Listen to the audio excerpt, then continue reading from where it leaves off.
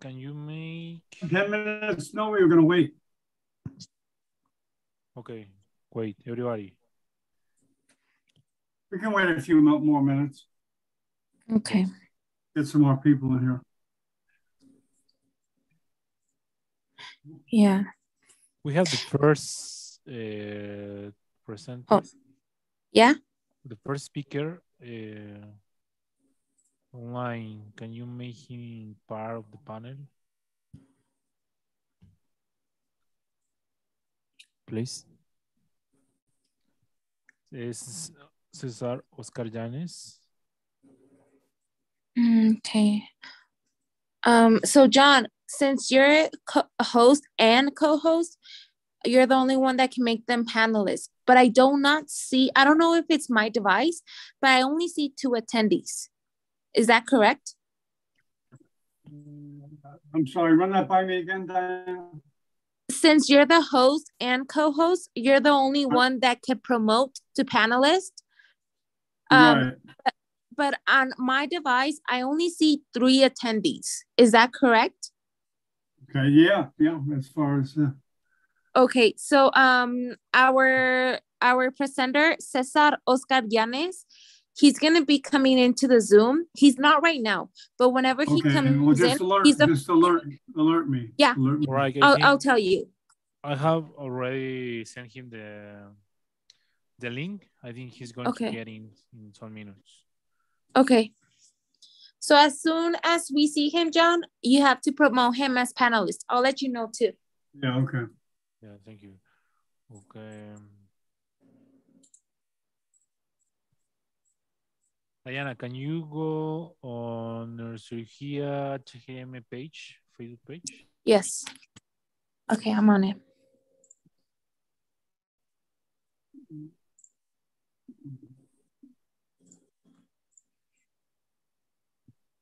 Right. Oh.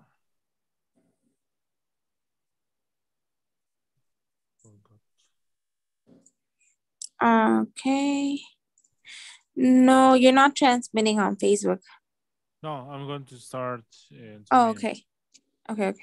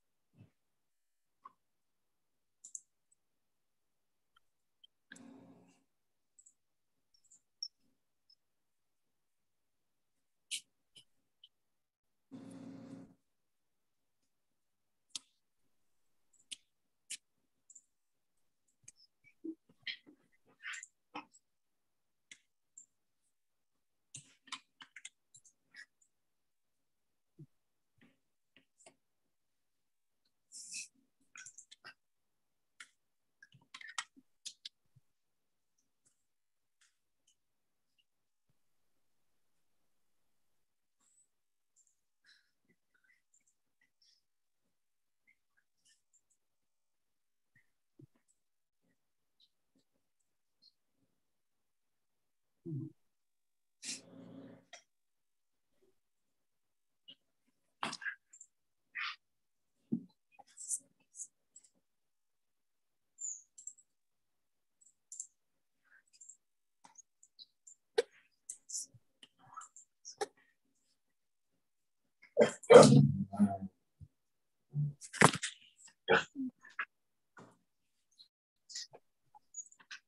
Okay, I think uh, Cesar Oscar Llanes is already in.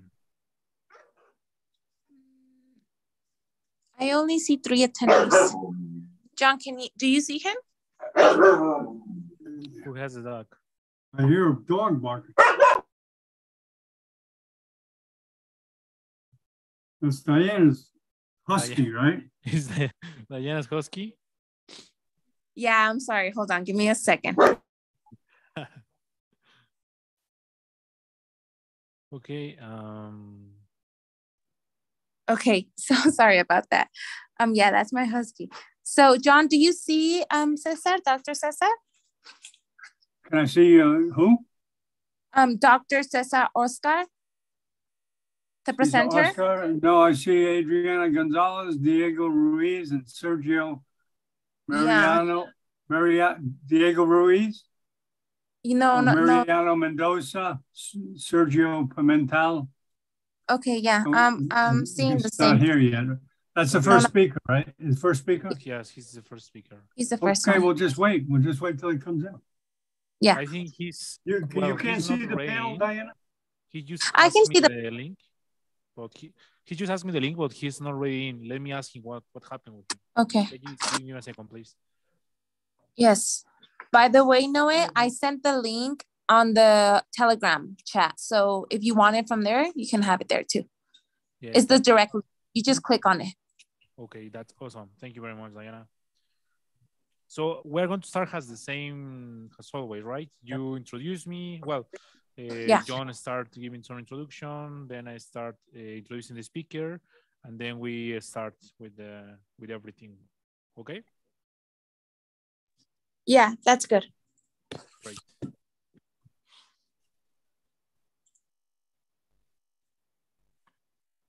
I don't know. The audience hasn't hasn't already arrived. I don't know what happened with them.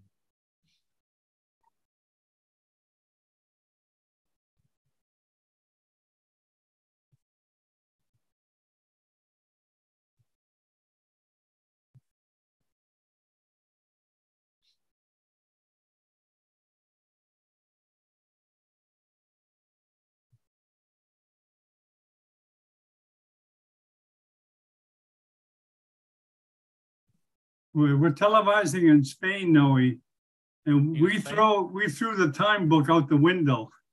Oh, that would be great. It's just free form. Uh, they Oh. call in one guy to talk for a while, and another guy. That's awesome, John. Yeah, it's a little different. And sometimes they throw a video on, and they're also teaching in the hospital. I can see her in the background. And then Yeah, they, yeah. they'll come over to the camera. Yeah, the other day It's people kinda- kinda different. from Japan, South Korea. This is awesome how yeah. connect. Oh, yeah, they're gonna have some good speakers tomorrow from Japan. Yeah, it's it's it's awesome. Yeah. The biggies.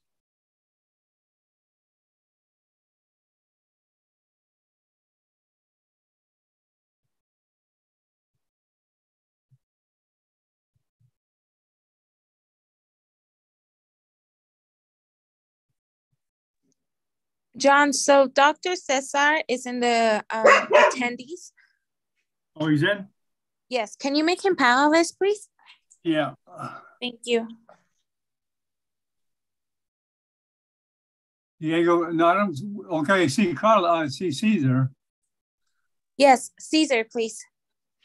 Yeah, I know Caesar. Hola, hola, buenas. Hola, Hola, ¿qué tal, César. Hey, no ha visto mucho tiempo. Hola, ¿qué tal, John? ¿Cómo estás? Mucho gusto. Bien, ¿Qué tal? qué bueno. Doctor Janes, ¿cómo está?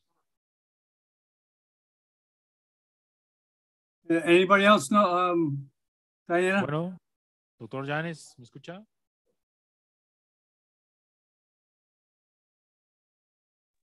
Hola, sí. ¿Qué tal, doctor Janes? Habla doctor Pérez Carrillo. ¿Cómo está? Un gusto saludarlo. ¿Qué tal? Mucho gusto. Buenas noches. John, ¿qué tal? Hey, no, no, uh, Caesar es la- uno de los primeros personas que ha hecho charlas. ¿Recuerdas, Caesar? Hace mucho tiempo. Sí, hace Oh. como unos, ¿qué? Siete, seis años. Siete Seis años. años. Sí, pues, sie- Y siete tú años. introdúceme a Víctor Hugo. Y, y Caesar dice que, ah, yo tengo un amigo en Ciudad de México, Víctor Hugo Pérez Pérez. Bueno, Víctor es famoso, ha viajado al mundo. correcto, sí. India, Pakistán, China. Ya, ya lo veo que está en las grandes ligas. ¿Qué, tal, doctor Noé Pérez? ¿Cómo está? ¿Cómo está, doctor? Bien, aquí este, preparando todo. Este, la transmisión en Facebook acaba de iniciar.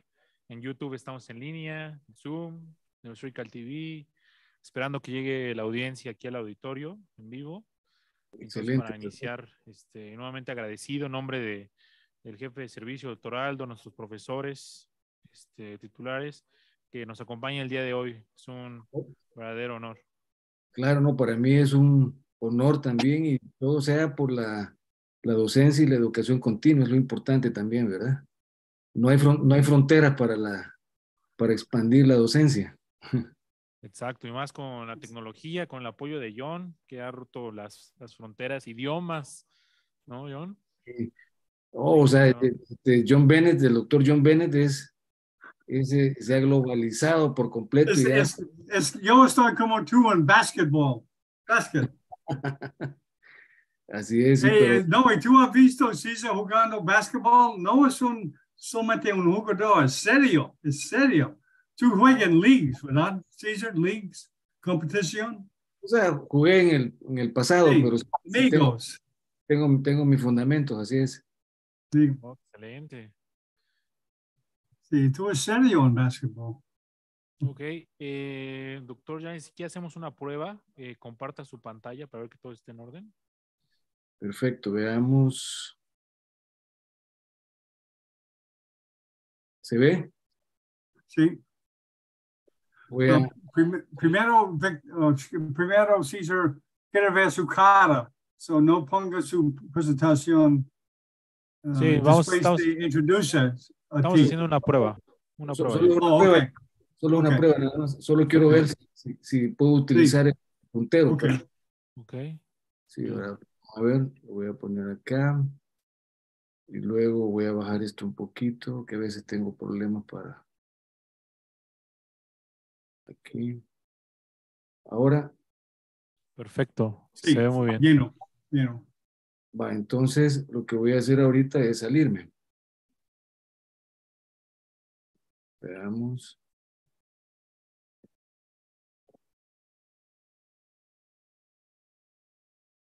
Hola.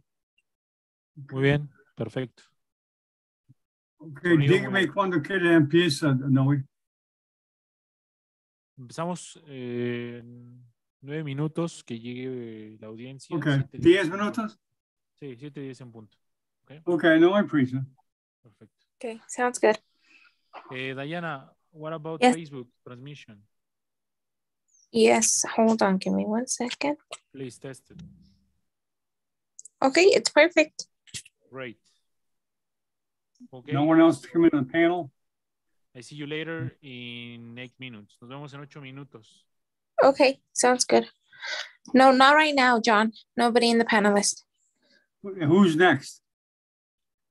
Only if Dr. John Navarro, um, I mean, Dr. Navarro comes in or Dr. Takashi.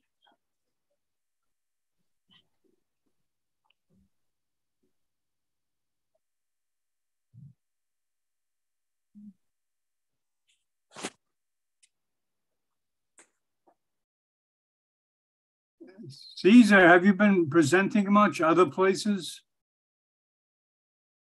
Or just sticking around uh, Latin America?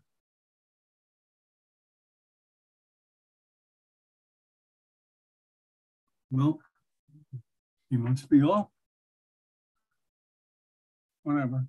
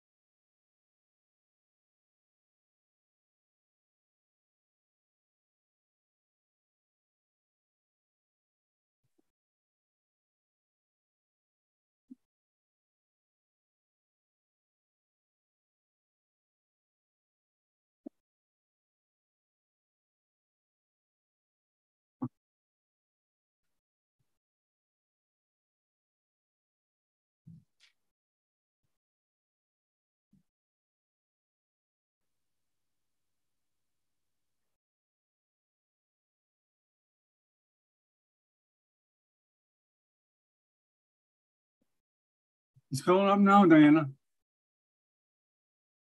We're just waiting for the people at the Yeah, aud- yeah, auditorium Yeah, to sure. arrive. Yeah. Now, none of these guys come in, right, to the panel? I No, not right now. Marvin Hino Hosa.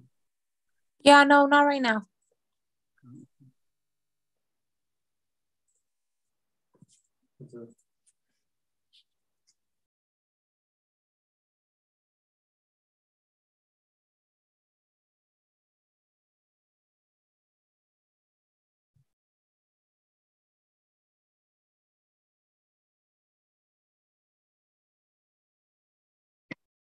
Yeah, I'm trying, to I'm trying to entice the Spanish community to do more webcasts. Dr. Llanos, the uh, surgeon neurosurgeon that's leading the conference, is so super busy. But he has, he's Yeah. always maintained good relationships with Japan. Uh, I guess he does a lot of bypasses. Mm-hmm. He's a cere- cerebrovascular guy. Sí, por ejemplo, And but but that's a good idea. But he is Okay. um somebody Well- that's really busy, has a tight schedule. Uh, you- you- You've heard of Llanos from before? Yeah. Oh, okay. Like I said, I'm not in the field, you know, I don't, I don't hear of things like that. Yeah, but he does have a tight schedule. That is true. He- Very tight. He has a secretary that's very friendly. Uh, Yeah. But uh, he drives her crazy. o creo que It después. took us months to put the conference together. We're still not, we're still very confused. But it's okay. That's just the way they like to run it. I just, I tried to organize it, but they didn't want to. I said, okay, let it go. Do what you want to do. Yeah, I understand what he's telling me. And I said, well, how about the schedule? He said, no, there's no schedule today. Mm-hmm.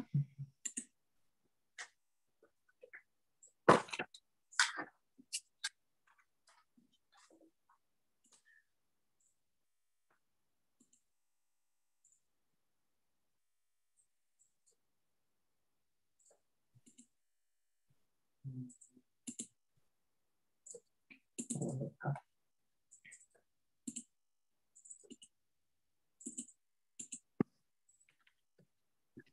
Yes, uh, Caesar.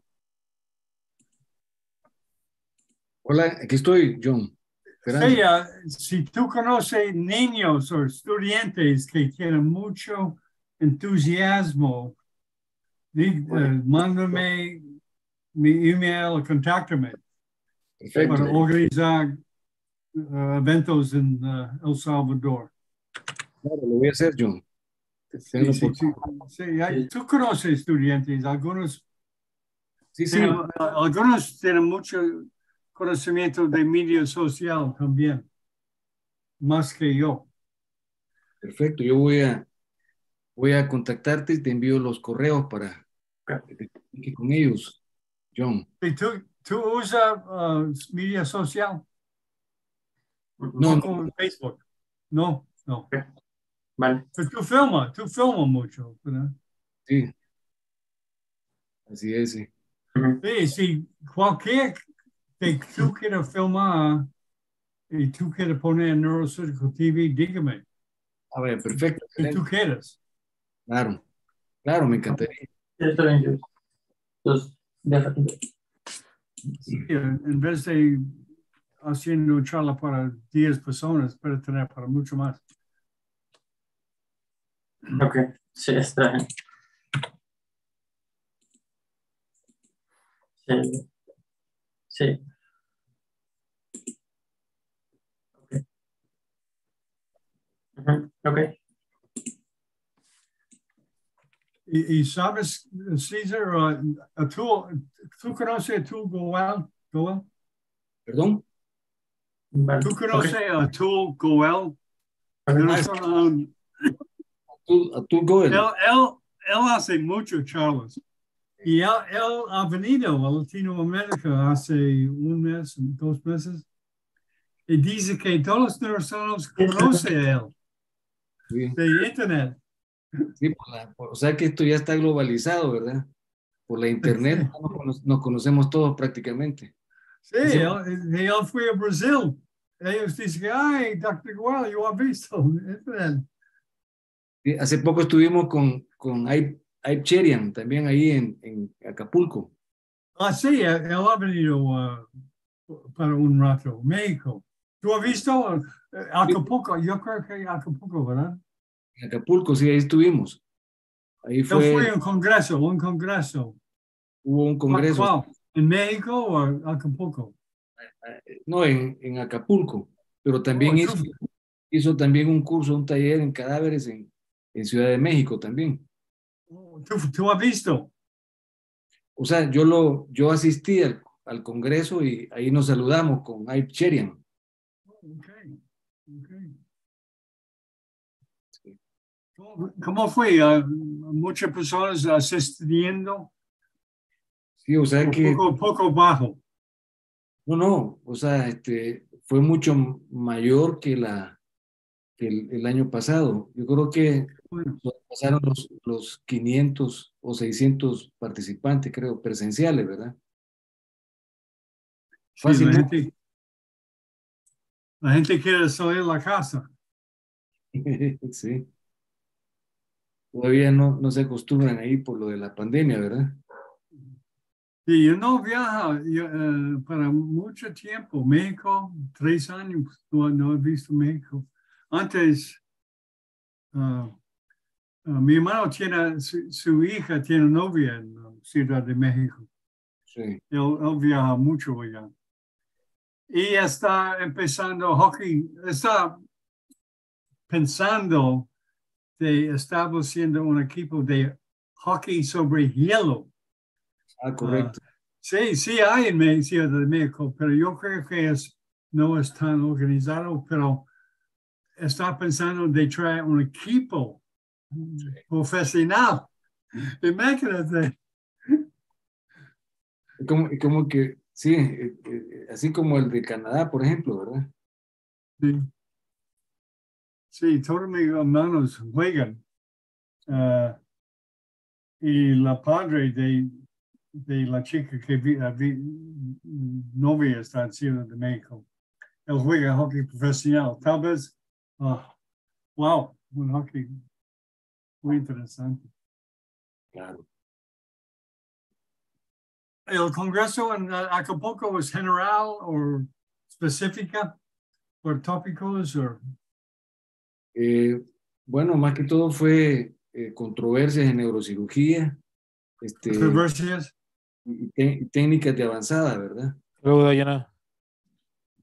Can you make Dr. Francisco Velasco as part of the panel? Yeah, okay. John, so um so John, since I'm not co-host, I cannot make panelists. Can you make Dr. Francisco panelist? Francisco. Yes, he just joined us. There's another account for him. Okay. Can you make that account too, please? Yeah, Fernando, No, Francisco Velasco. you see him? Oh, there he is. Okay. Yeah, he was there last week, I think. Yeah.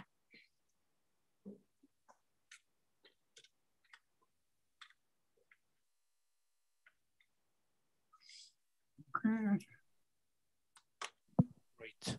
Hola, doctor. ¿Cómo está, doctor Velasco? Dr. Velasco está dentro. Sí, muy bien, muchas gracias. ¿Cómo está usted? Ok, bien. Ok, John, let's do it. Ok, yo voy a introducir. uh, ok, día, uh, ¿listo, Diana? Yes, I'm ready. Ok, 10, 9, 8, 7, 6, 5, 4, 3, 2, 1. Buenas noches, estoy Dr. John Bennett, televisando de Ciudad de Miami Beach. Uh, tenemos uh, placer de tener uh, otro curso de primer curso internacional de uh, neuroanatomía funcional con organizador Noe Carrillo y déjame introducir Diana Ochoa. Es entre residencia y estudiante. Buenas noches, Diana. Buenas noches, John. Muchas gracias. No es, grato, no es grato recibir a todos otra vez por este medio. Voy a introducir al doctor Noé Pérez Carrillo, quien es residente de neurocirugía en el Hospital General de México. También es académico de la Facultad de Medicina de la Universidad Nacional Autónoma de México en la Cátedra de Anatomía Humana. Asimismo, es presidente global de la Liga de Residentes de la Walter Andy y Dandy y nuestro coordinador general del primer curso internacional de neuroanatomía funcional con orientación quirúrgica, a nombre del doctor Francisco Velasco Campos. Noé, por favor. Muchas gracias. Eh, muchas gracias al equipo de Noshrical TV que nos acompaña el día de hoy y nos permite transmitir alrededor del mundo a través de la plataforma de YouTube, Facebook, Noshrical TV y por supuesto Zoom. El día de hoy estamos aquí este, en el Hospital General de México, el auditorio Aquilino Villanueva. Tengo el honor de eh, presentar a nuestro primer ponente, que es el doctor César Oscar Llanes. Voy a leer un breve resumen de su amplia semblanza. El doctor César Oscar Yáñez eh, Guandique, él es neurocirujano, fue durante, durante su residentado jefe de residentes de neurocirugía en el Instituto Salvadoreño del Seguro Social en el 92 al 97. Realizó un fellowship en cirugía de la base de cráneo y tumores cerebrales y espinales en el Servicio de Alta Especialidad de Neurocirugía del Hospital de Especialidades del Centro Médico Nacional Siglo XXI, aquí en el Instituto Mexicano del Seguro Social en México. Actualmente es neurocirujano adscrito al Departamento de Neurocirugía del Hospital General del Instituto Salvadoreño del Seguro Social jefe en funciones del Servicio de Neurocirugía del Hospital General del Instituto de Seguro Social de El Salvador. Es premio como hijo meritísimo de Chinameca en su ciudad natal, oficializada una eh, sesión oficializada por el vicepresidente de la República de Salvador.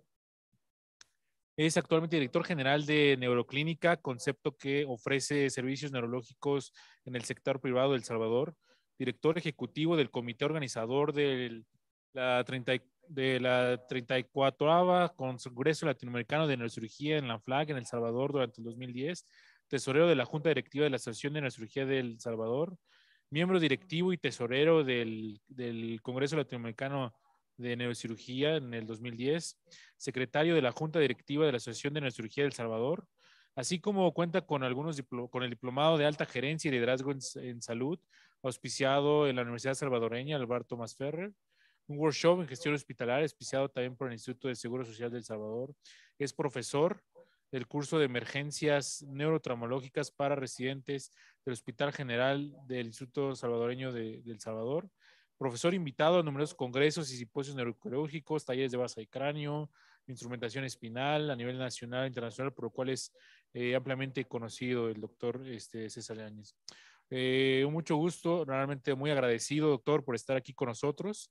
El día de hoy nos acompaña para hablaros un poco de los aspectos anatómicos, eh, estrategias para el abordaje de los meningiomas en el surco olfatorio. Todo, todo, todo, todo suyo, doctor eh, Yáñez. Perfecto. Eh, buenas noches.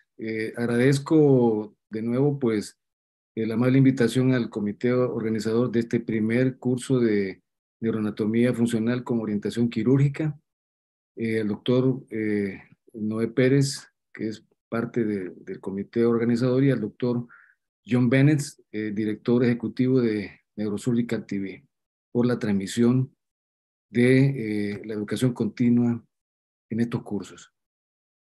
Voy a compartir la pantalla, si me lo permiten. No sé si me escuchan bien. Se escucha, muy, bien. Perfecto. El auditorio se escucha bien. Dayana, en línea. Se escucha excelente. Adelante, doctor. Sí, ahorita.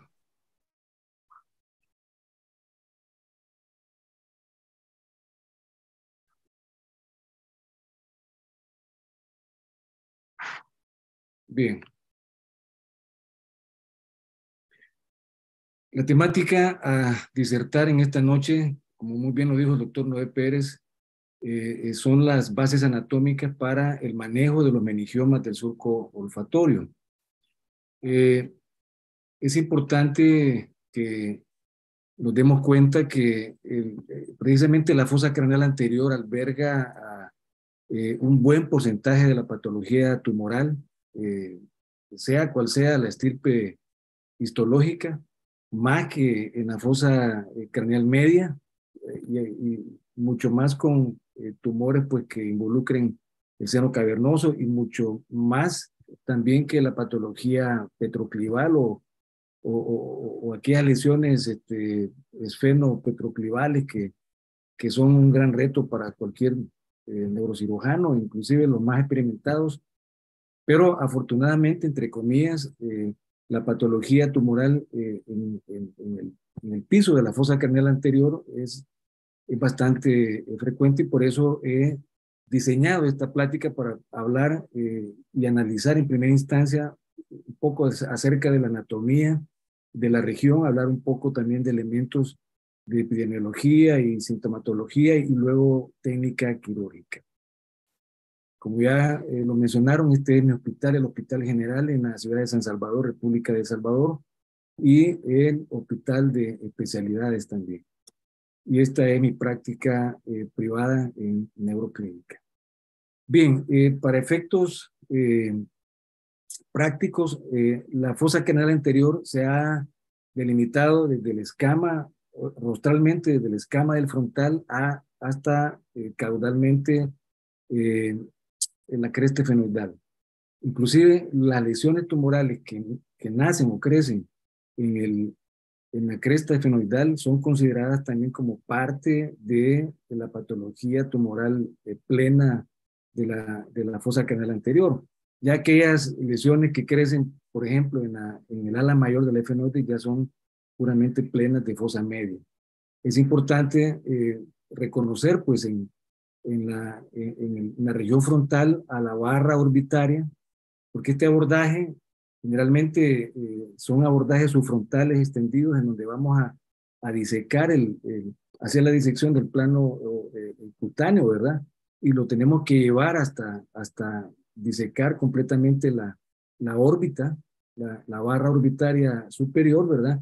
Y aquí identificar también los agujeros eh, supraorbitarios que albergan al, paquete neurovascular y que es importante una vez que hayamos disecado el colgajo cutáneo y lo, hayamos replegado hacia, hacia anterior, eh, verificar si efectivamente es un foramen o es un eh, canal, ¿verdad? Si es un foramen, entonces con un cincel pequeño hay que este, convertirlo en un canal para lograr disecar el paquete neurovascular y llevarlo con el colgajo hacia adelante y evitar una lesión que nos pueda provocar una anestesia dolorosa por afección de eh, territorio trigeminal también.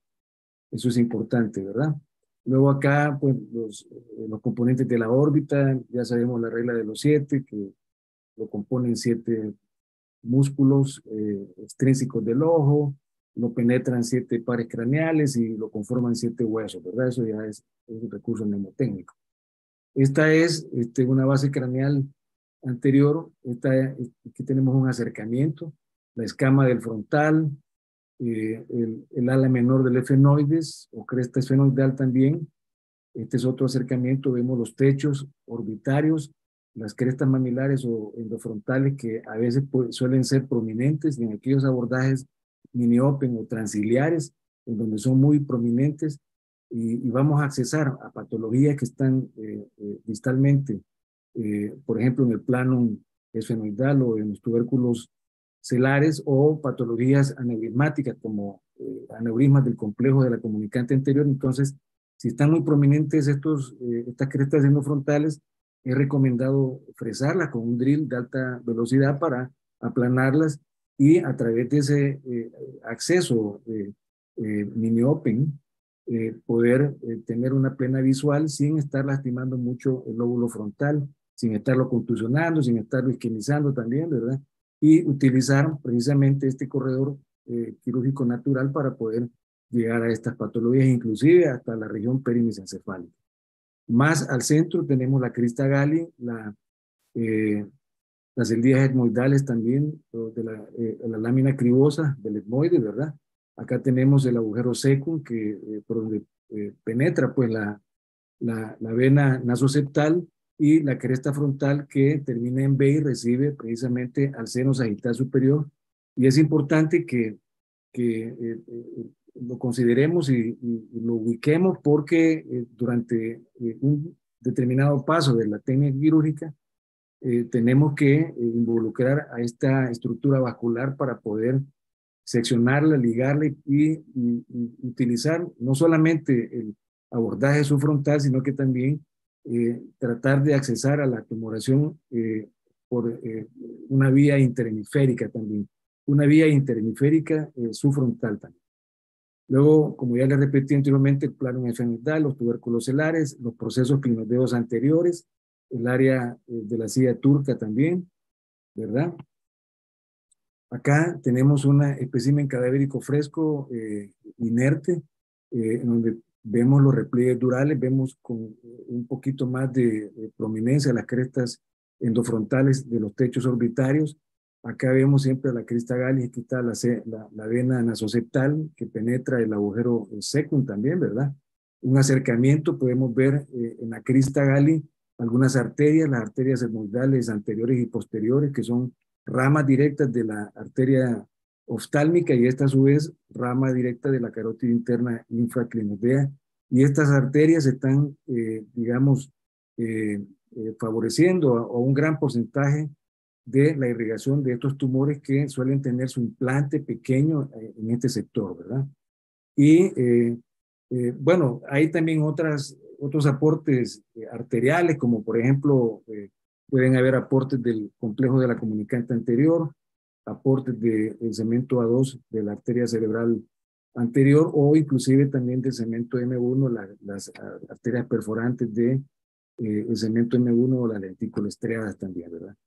Eh, eh, hay técnicas que recomiendan, si, se, si es factible y no es una masa tumoral muy grande, este, eh, llegar a la base del, del, tumor y tratar de localizar estas arterias para eh, bloquearlas, electrocoagularlas y así tratar de desvascularizar eh, antes de iniciar la resección del tumor eh, la cápsula, ¿verdad? Para evitar que nos esté sangrando mucho. Hay otra técnica que recomienda también un acceso extracraneal antes de hacer la, la craneotomía subfrontal extendida que puede ser con orbitotomía bilateral o, o una transvasal, eh, se puede hacer también el bloqueo de estas arterias eh, extracranealmente a través de la órbita. Cuando eh, eh logramos desplazar el colgajo cutáneo hacia adelante y hemos disecado la, la periórbita, entonces podemos accesar a través de, de, de, la órbita, identificar el surco nasolagrimal y a 24 y a 36 milímetros aproximadamente de este surco se encuentran la arteria etmoidal anterior y la posterior y se puede electrocoagular en su entrada a eh, la crista eh, a, la, a, las vías etmoidales del hueso etmoidal también. Y eso puede favorecernos el, el la devascularización del tumor y, y no eh, eh provocarnos aquellos sangrados copiosos y molestos y que en algunos casos en pacientes que cursan con comorbilidades pueden también eh, eh, darnos alteraciones hemodinámicas que pueden ser deleterias para el paciente eh, eh en el postoperatorio o inclusive en el transoperatorio. Acá tenemos el trabajo del profesor eh, eh, Roton Jr., ¿verdad? Albert, Albert Roton Jr., en donde tenemos una órbita expuesta sin el techo, ¿verdad? vemos el globo ocular, el nervio óptico, vemos el anillo de zinc, ah, acá el, el de zinc, donde se insertan seis de los eh, siete músculos extrínsecos del ojo también, ¿verdad? Acá tenemos el nervio óptico, acá vemos a la arteria eh, oftálmica, que es rama directa de la, de, la arteria carótida interna, infraclinodea, y esta da pues las ramas eh, etmoidales anteriores y posteriores, y ya les comenté que son las que eh, generalmente dan eh, un mayor porcentaje de la nutrición arterial de estos tumores y que es importante reconocerlas también acá.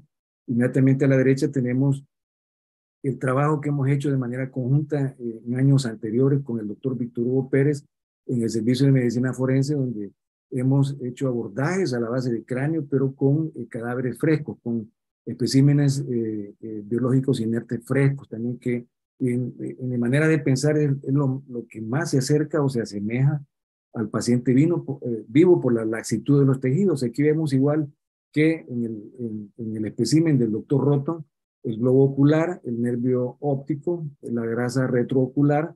Aquí hemos quitado el techo de la órbita, aquí está la hendidura esfenoidal superior, eh, el proceso clinodeo anterior, el, conducto óptico, el nervio óptico, por abajo la arteria carótida interna eh.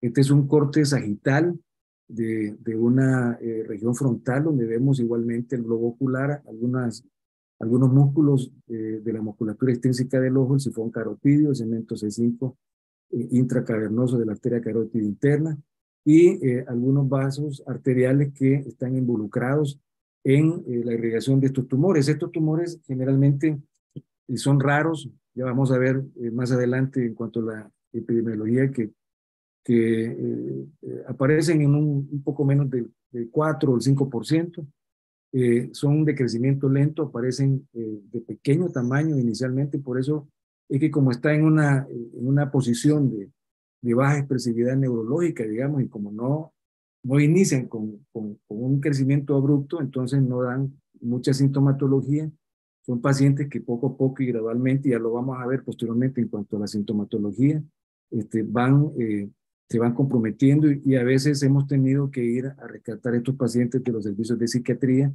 porque han sido, digamos, manejados de manera inadecuada por el, el problema sintomatológico, cuando en verdad es una masa tumoral expansiva, ¿verdad? Que va en crecimiento y que da realmente eh, síntomas neurológicos cuando ya han alcanzado eh, tamaños eh, estratosféricos, ¿verdad? Este sería más o menos, eh, en este espécimen eh, biológico inerte, la posición de, un abordaje eh, subfrontal extendido. Claro, no tan expuesto como acá, porque este es, un cadáver, ¿verdad? Pero acá podemos eh, ver a, a, la crista gali, al plano esfenoidal, al ligamento falciforme, a los procesos clinodeidos anteriores, el, el conducto óptico, vemos casi a trasluz, que penetra el nervio óptico al cono orbitario, ¿verdad? Diría que no tiene techo, ¿verdad? Solo es el, parte de lo que es el ligamento falciforme, el que llama óptico, aquí está la membrana de Lilicus, el tallo hipofisario también más en profundidad la arteria basilar. Acá tenemos a la carótida interna, que se divide en, en carótida eh, en cerebral media, perdón, y a uno de la arteria cerebral anterior, el complejo de la comunicante anterior, eh, la membrana eh, terminalis o premamilar, ¿verdad? que es el piso del tercer ventrículo. Acá tenemos a la arteria cerebral media, segmento M1 y las arterias perforantes del lentículo estriadas que en algunos casos suele, suelen estar involucradas también en el aporte de la irrigación. Aquí tenemos la cara mesial del lóbulo temporal y eh, el lóbulo frontal con su interhemisferio. Acá hemos seccionado los, eh, nervios ópticos, vemos eh, mejor el, tallo hipoficiario, la glándula hipófisis, el diafragma celar, las arterias carótidas, eh, los giros rectos, también ya vamos a ver una, vista de, basal del encéfalo donde se ve plenamente esas estructuras y las arterias perforantes lentículo estriadas. Este es otro, otra imagen eh, maravillosa de, de trabajo de conjunto con el doctor Víctor Hugo Pérez, donde vemos las estructuras antes mencionadas, ¿verdad?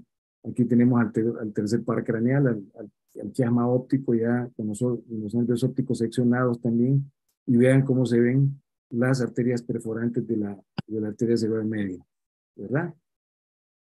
Esta es una cara eh, basal del, del, del encéfalo, ¿verdad? Este es un acercamiento donde, donde vemos eh, a plenitud al polígono de Willis. Usualmente en este sector estaría eh, el, tumor, ¿verdad? Cuando ya adquiere una dimensión eh, gigantesca, aquí vemos los tractos olfatorios que eh, vienen de la sustancia perforada anterior, el complejo de la comunicante anterior, A2, A1, la arteria carótida interna, arteria cerebral media, el llama óptico también, la membrana de Liliquis en su segmento eh, diencefálico y mesencefálico. Aquí tenemos a la, a la arteria basilar y las arterias cerebrales posteriores también. Eh, Veamos. Esta más o menos sería una imagen eh, eh, durante el desarrollo de la técnica quirúrgica para poder accesar subfrontalmente hacia e interhemisféricamente hacia, hacia, hacia, este tipo de lesiones. Aquí vemos este, al seno sagital superior, los, los lóbulos, los hemisferios cerebrales también rechazados por, por eh, espátulas cerebrales. Yo, en lo personal, no utilizo espátulas cerebrales. Eh, mejor hago la disección aracnoidea y voy colocando telfas cotonoides para ir haciendo el espacio, así como se suele hacer en la cirugía eh, para malformaciones arteriovenosas, en donde se va disecando poco a poco y se va colocando eh, cotonoides, algodón, para ir haciendo el espacio y este, ir separando el, el, el, cerebro de los, de los vasos. Claro, aquí es diferente porque así como lo dice el profesor Yazzaril, en tumores vamos a disecar la aracnoides y la vamos a dejar hacer los vasos y obviamente en patología neurismática vamos a disecar la aracnoides de los vasos para poder exponer el cuello de la neurisma o el domo también, ¿verdad? Acá vemos, este, eh, una vez separados en profundidad, el complejo de la comunicante anterior eh, A1 de ambos lados, el tallo hipoficiario, ¿verdad? Aquí tenemos la rodilla del cuerpo calloso, acá un acercamiento, tallo hipoficiario también, ¿verdad? Este, la rodilla del cuerpo calloso también, A1 de un lado y del otro lado también, ¿verdad? Y estas son imágenes este, extraídas de la obra del doctor Laligan Shekar en su, en su atlas de neurocirugía a la base craneal. Más o menos esta es la posición que vamos a, eh, a, a, ver de las estructuras anatómicas a intervenir. Estos tumores ustedes están ubicados en este sector, suelen tener, cuando son diagnosticados, grandes dimensiones, ¿verdad? Y tienen generalmente un, una base de implante pequeña que suele estar en la crista gali o en las celdillas hermoidales del hueso hermoidal, ¿verdad?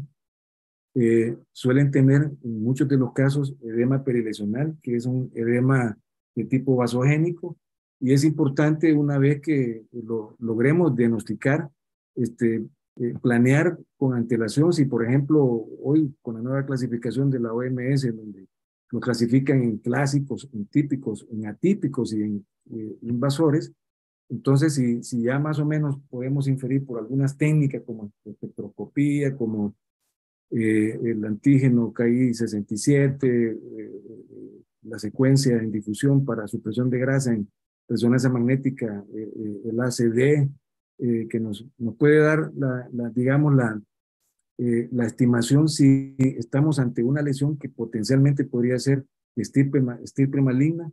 Si pensamos en, en, estos pacientes una vez que los operemos, en darle tratamiento de, ayuda, de ayudancia como la radioterapia, entonces debemos de, de, considerar que este edema vasogénico puede convertirse en un edema citotóxico. Entonces, es importante que tomemos las medidas eh, de prevención necesarias para este, acompañar pues, de, de, una adecuada terapia con, con esteroides, con eh, para que no se nos vaya a complicar nuestro pacientito. También es importante una vez que hayamos replegado el colgajo hacia rostral, hacia anterior, y, y bajemos este, lo más que podamos hasta el nación con la disección, eh, encontrarnos con los senos frontales aéreos también. Esta, por ejemplo, es una paciente eh, eh, del sexo femenino, ¿verdad? Es más frecuente, de hecho, en una proporción de 2 a 1, los meningiomas, mujeres versus hombres por el tema de los estrógenos, la progesterona, ¿verdad? El embarazo, por ejemplo, potencia o, o dispara tremendamente a, estos, a estas lesiones, no solamente los meningiomas, sino que también a, a, a los gliomas. ¿verdad? Pero cuando nos topamos con estos megacenos aéreos, es importante que eh, podamos, eh, eh, con estudios de antelación, por ejemplo, estudios de, de reconstrucciones agitocoronales, de tomografía cerebral, ver el tamaño del seno y a ir planeando, así como dice el profesor Almefti, ¿verdad? Vamos a hacer una cirugía de base de cráneo, también tenemos que planear el cierre, la reconstrucción. Y hay que pensar en cómo vamos a curar el seno, ¿verdad? Cómo lo vamos a, a, a osificar, a cranealizar, también cómo vamos a retirar toda la mucosa, cómo vamos a lavar adecuadamente cómo vamos a empaquetar, ya sea con hueso autólogo o heterólogo, eh, estas cavidades para que eh, no nos vaya el paciente a desarrollar eh, una fístula de líquido cefalorraquídeo, ¿verdad? Hay que hacer un buen colgajo pediculado de pericráneo también para poderlo cubrir. Si es necesario, usar sellantes como eh, Duracil, etcétera, ¿verdad? Y eh, con esto evitamos que el paciente nos vaya a desarrollar un mucopiocele o un mucocele, inclusive que puede ser deleterio desde el punto de vista neuroinfeccioso para, para la adecuada evolución del mismo. Acá, en cuanto a la epidemiología, ya les mencioné que eh, son tumores que, que, son raros, abajo del 5%. Los síntomas eh, nos dan trastornos visuales, anosmia, alteraciones de memoria, desinhibición, síndrome orbital, trastornos de, emocionales, ¿verdad? Nos puede dar un síndrome lateral eh, con trastornos motrices, síndrome de Foster Kennedy, ya lo conocen, atrofia de papila y ceguera, más edema de papila contralateral, síndrome medial que nos puede dar hipoquinesia, manos o pies, alteraciones cognitivas, razonamiento, conducta, afecto, personalidad, confusión, depresión, apatía, disfonía, amnesia, demencia, agresividad. Vean la, gran gama de, sintomatología que, que, nos puede expresar este tipo de lesiones cuando adquieren eh, un tamaño gigantesco. Este es, una, es un encéfalo en necropsia, ¿verdad? Vemos eh, la gran cavidad y el desplazamiento de las estructuras aledañas que puede llegar a, provocar estas, estas, lesiones. Obviamente el paciente falleció, ¿verdad? Es sacado de, eh, el trabajo del profesor eh, Cohen de la Universidad de Indiana, ¿verdad? Luego, en cuanto a la vascularidad, ya les dije que proviene de las arterias hemorroidales anteriores y posteriores, que son ramas a su vez de la arteria oftálmica. Algunos recomiendan, como ya les mencioné, su oclusión previo a la cirugía tumoral con un abordaje intraorbitario, pues se encuentran a 24 y 36 milímetros de la cresta anterior del surco naso lagrimal, ¿verdad? El resto de vasos eh, proceden de las arterias frontopolares y frontoorbitarias del segmento A2 de la arteria eh, celular anterior. Eh, que son coagulados al resecar la cápsula, pues por lo general tienen una infiltración subpial. También pueden haber aportes de ramas esfenoidales de la arteria cerebral media. El drenaje venoso es bizarro. La embolización en este tipo de tumores no tiene cabida, es decir, digamos, está proscrita, ¿verdad? Porque es probable que una microesfera de Onyx pueda ir inclusive a ocluir esa arteria oftálmica y generar secuelas eh, neurológicas eh, severas, una, una ceguera, por ejemplo, eh, es, factible. Entonces, realmente no se recomienda y es mejor tratar de devascularizar el tumor por los métodos que ya le mencioné, ¿verdad? Pero sí, eso ya es un consenso general. Eh, la embolización no se recomienda en este tipo de tumores. Esta es una eh, ilustración artística de un abordaje subfrontal extendido. Aquí hemos llevado el colgajo hacia anterior hemos eh, disecado la periórbita y a través de eh, un acceso, eh, en el, digamos, en el epicanto interno, más o menos a 24 milímetros del surco nasolagrimal, ahí encontramos en primera instancia la arteria etmoidal anterior y a 36 milímetros a la arteria etmoidal posterior. Y podríamos, antes de accesar a, a, a un abordaje transcraneal, bloquear las arterias a este nivel y eh, e iniciar, perdón, con eh, la devascularización del tumor que nos puede hacer eh, la vida más tranquila en el momento de la, de la cirugía. Este es otro abordaje, es, son ilustraciones artísticas también del trabajo del profesor Cohen. Este, y acá vemos ya una magnificación donde vemos prácticamente cómo va desplazando las, las arterias del complejo de la comunicante anterior, las arterias cerebrales anteriores, pero más que todo su segmento A2 y las arterias frontoorbitales y frontopolares también. Vemos que estos tumores tienen eh, o tienden a tener un crecimiento lateral y pueden embeber a los tractos olfatorios, ¿verdad? Casi siempre cuando ya vemos a estos pacientes, de hecho, eh, los casos que voy a presentar, los casos que voy a presentar son eh, eh pacientes femeninas y ya los recibimos ya con tumores con grandes dimensiones y generalmente vienen ya con, con, con hiposmia o con anosmia inclusive, ¿verdad? Y, casi siempre no es posible visualizar, inclusive cuando, cuando, cuando eh, tratamos de retirar el tumor a los tractos olfatorios, porque ya están comprometidos, ¿verdad? Las imágenes de resonancia magnética nuclear, consecuencia de difusión, el ACD o ACD, o coeficiente de difusión aparente, que es una especie de, eh, eh, de, de, secuencia en la resonancia magnética que nos puede denotar áreas de hipercelularidad e hipervascularidad, que nos indica el alto grado de malignidad de los tumores. Eso nos no puede ser inferir que se puede tratar de un, de un meningioma grado 2 o grado 3, y esto inclusive va a requerir de el soporte adyuvante con radioterapia en el, en el posoperatorio. Pues ya eh, el concepto, el viejo concepto de, de, antaño de que los meningiomas todos son tumores benignos, ahora ya este, no sucede eso, ya vamos a ver más adelante el porcentaje que tienen eh, estos tipos de, de, de grados, ¿verdad? Y afortunadamente, pues el grado 1 es el más frecuente, ¿verdad? Y los, los grados subsiguientes, el atípico o el invasor, pues son menos, menos frecuentes, pero que es importante eh, hacer el estudio histopatológico eh, y, la, la, la, llamada eh, genómica, ¿verdad? Para poderlo digamos, mapear genéticamente y darle un tratamiento que, de ayudancia que, que sea el más efectivo para él. Y con esto evitar, obviamente, la recurrencia del tumor. El diagnóstico por histopatología molecular, el, el antígeno KI67 nos indica el grado también de agresividad y eh, tienen estos un índice de crecimiento de 4.94 centímetros cúbicos al año. Acá lo que le decía, los, los, benignos grado 1 típico, la frecuencia es del 70 al 80% y la recurrencia suele ser del 7 al 20%, con un promedio del 9%, aún con aquellas resecciones eh, eh, Simpson grado 1, porque el objetivo es verificar una resección Simpson grado 1, ¿verdad? Eh, los atípicos o grado 2, la frecuencia es del 15 al 20% y la recurrencia anda ahí por el rango del 29 al 43%. Los anaplásicos, grado 3, la frecuencia es del 1 al 3%, afortunadamente, entre comillas, ¿verdad? Y la recurrencia menos del 80%. La recurrencia generalmente eh, es a senos paranasales y a la base del cráneo. Por eso es importante intentar una vez que se reseque el tumor y se, y se logre completar una resección Simpson grado 1, este, identificar el implante y drilarlo con un drill de alta velocidad también y hacer una adecuada electrocoagulación del implante también.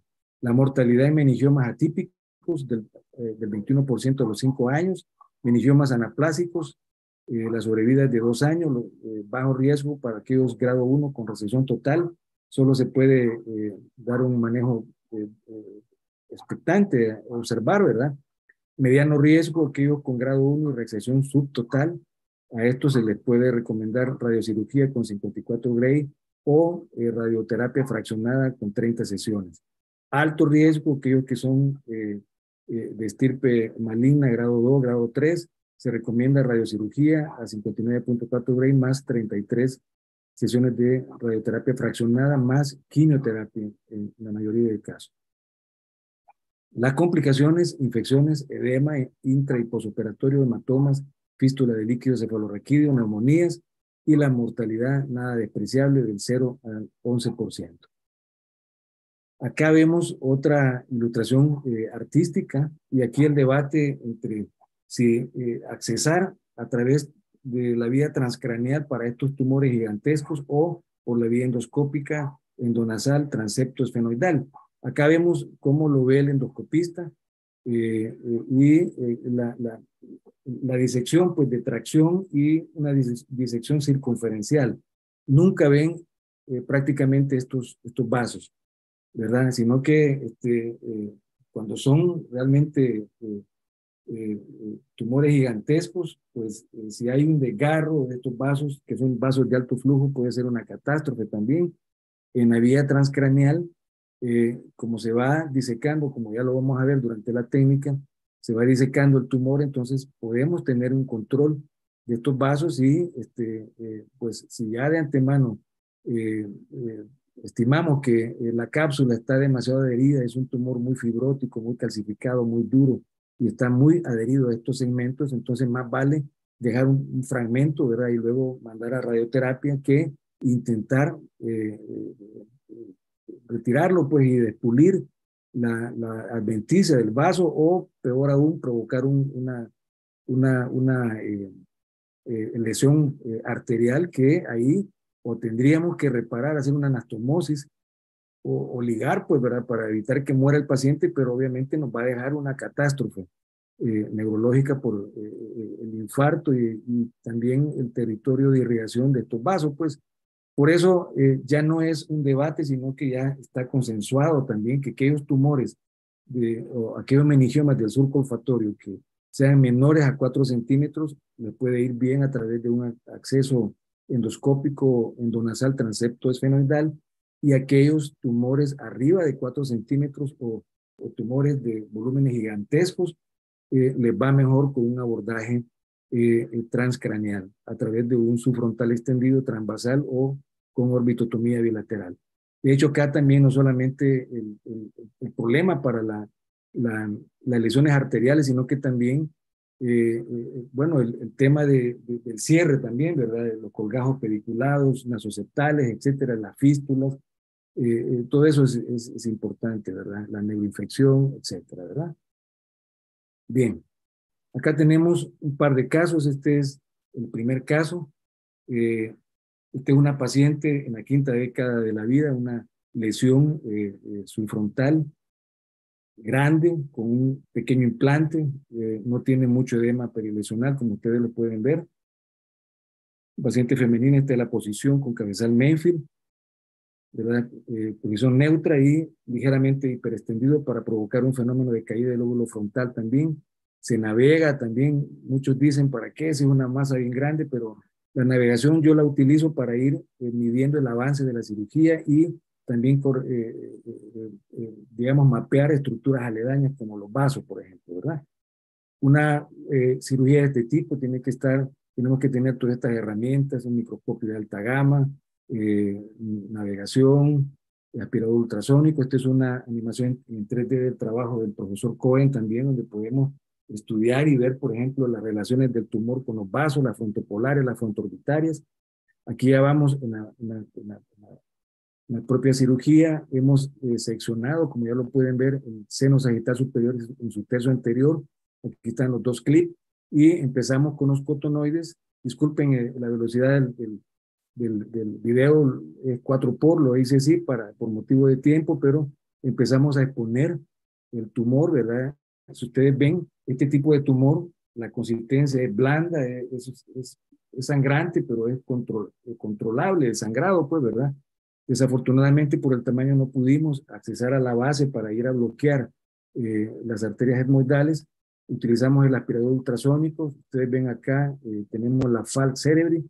Eh, una vez que, que la hayamos disecado por completo, hay que seccionarla también para desbloquear completamente el tumor y retraer la dura madre hacia, rostra, hacia caudal y, y lograr este, disecar el, la parte de, posterior del tumor y que está en íntima relación con los vasos eh, eh, como la, el segmento 2 de la arteria cerebral anterior y, el, eh, y la comunicante anterior. Aquí electrocoagulamos el seno sagital inferior también. Aquí logramos este, desplazar la dura madre teniendo cuidado de no, de no comprimir mucho el seno para no trombosarlo, el seno, seno sagital superior, ¿verdad? Seguimos poco a poco con, con la disección utilizamos este, el, el, el bipolar, las microtijeras, el aspirador ultrasónico. A veces son tumores que, que no se dejan quitar muy fácilmente con, con el aspirador, como los gliomas, por ejemplo, ¿verdad? Estamos haciendo la disección lateral también, ¿verdad? Poco a poco vamos introduciendo los, los cotonoides, las, las, las, las telfas, le llamamos nosotros allá en, acá en nuestro país, y vamos este, poco a poco eh, fragmentando, emulsificando a través del accionar del, del ultrasonido, del aspirador ultrasónico, y así este, haciendo electrocoagulación, eh, manteniendo un contacto directo también con el neuroanestesiólogo. Yo utilizo eh, durante el transoperatorio eh, bolitas de algodón empapadas con peróxido de hidrógeno, con agua oxigenada. Eh, es muy controversial eso, pero a mí me ha funcionado y me ayuda pues, a, a medio controlar también el, el sangrado. Hay estudios en África y, y, en Brasil también en donde los han utilizado, pues inclusive en algunos casos hasta los inyectan intratumoral también, ¿verdad? Eh, bueno, hay mucha tela que cortar, pero es una experiencia personal que, que yo la comparto. Aquí estamos ya en los pasos finales, electrocoagulando el implante. Este, hicimos, intentamos hacer una revisión Simpson grado 1. Estamos colocando la malla hemostática, ¿verdad? El surgicel. Vean cómo queda la, la cavidad y prácticamente los dos interhemisferios separados. No hemos utilizado para nada separadores. Las, las telfas, el cotonoide nos ha ido abriendo el espacio aracnoideo, como ya lo dijo el profesor Yasser, es, es el mundo aracnoideo, ¿verdad? Y acá tenemos eh, eh, el lecho tumoral y eh, utilizamos el navegador para corroborar que efectivamente estamos este, eh, en el sitio, ¿verdad? Aquí está el flap cutáneo, lo hemos cranealizado, ya hemos preparado también el seno frontal aéreo, ¿verdad? Esta es la tomografía eh, axial computarizada posoperatoria, ¿verdad? Y también tenemos un control, eso fue en el 2017, y un control en el en 2022 en octubre, en donde prácticamente no ha habido recurrencia. Sí, eh, le tuvimos que dar allá un pequeño remanente cerca del, del, del, de, la, del, de la rodilla del cuerpo calloso, así que lo radiamos en aquel momento, ¿verdad? Pero acá ustedes pueden ver la resonancia de octubre del 2022 y sin ningún problema. El caso 2, una eh, paciente del sexo femenino también, en la sexta década de su vida, una lesión más grande todavía, este, más hiperintensa en, el segundo eco de la resonancia magnética. Y si ustedes ven, tenía mucho más edema perilesional. Generalmente ya lo mencionamos, es un edema vasogénico. Aquí vemos cómo están rechazadas las arterias cerebrales anteriores en su, su segmento A1 y A2 y, y las frontopolares este, rechazadas lateralmente también, ¿verdad? Acá el, el uso del pericráneo. Eh, habíamos planeado hacer una eh, eh, craniostomía subfrontal extendida y vamos a retirar la barra eh, orbitaria superior, pero no fue imposible porque estaba totalmente hiperostósica, así que eh, modificamos eh, la, a un transvasal, ¿verdad? Y así pudimos también disecar el seno sagital superior, lo ligamos, como ustedes lo pueden ver acá, y acá ya prácticamente separamos, hicimos un abordaje interhemisférico también, y vean la consistencia de, la tumoración, mucho más grande también, dura, calcificada, ¿verdad? Diferente al, al otro, a la otra tumoración, o sea, cada caso es diferente, realmente es una experiencia maravillosa, somos privilegiados realmente en, en estos, eh, en tener estos casos y obviamente de ayudarle a nuestros pacientes también, ¿verdad? Acá utilizamos el, el bisturí, ¿verdad? Empezamos a hacer una disección cavitando el centro para eh, tener la posibilidad de, de, de, hacer el debulking de la tumoración y eh, poder manipular mejor la cápsula para empezarla a retirar paso, eh, parte por parte, haciendo eh, disección también igual que en el caso anterior lateral, ¿verdad? Y poco a poco vamos eh, eh, retirando la tumoración, ¿verdad?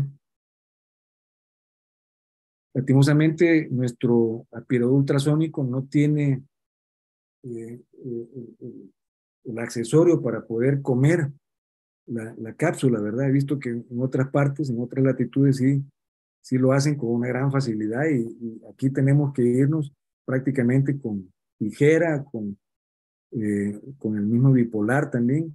Acá periódicamente vamos más o menos eh, calculando por dónde vamos, ¿verdad? En el pasado no teníamos esto, entonces todo instrumental, todo equipo que nos ayude a maximizar la seguridad del paciente, bienvenido también, ¿verdad?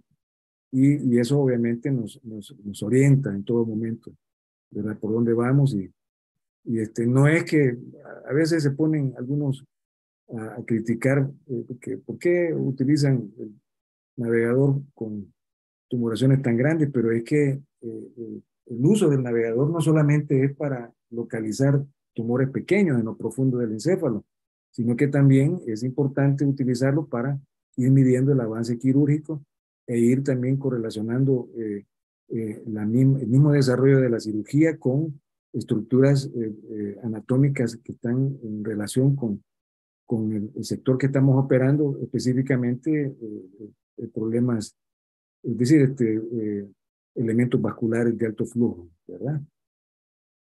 Aquí seguimos siempre tratando de hacer esa, esa disección de tracción y contratracción también, ¿verdad?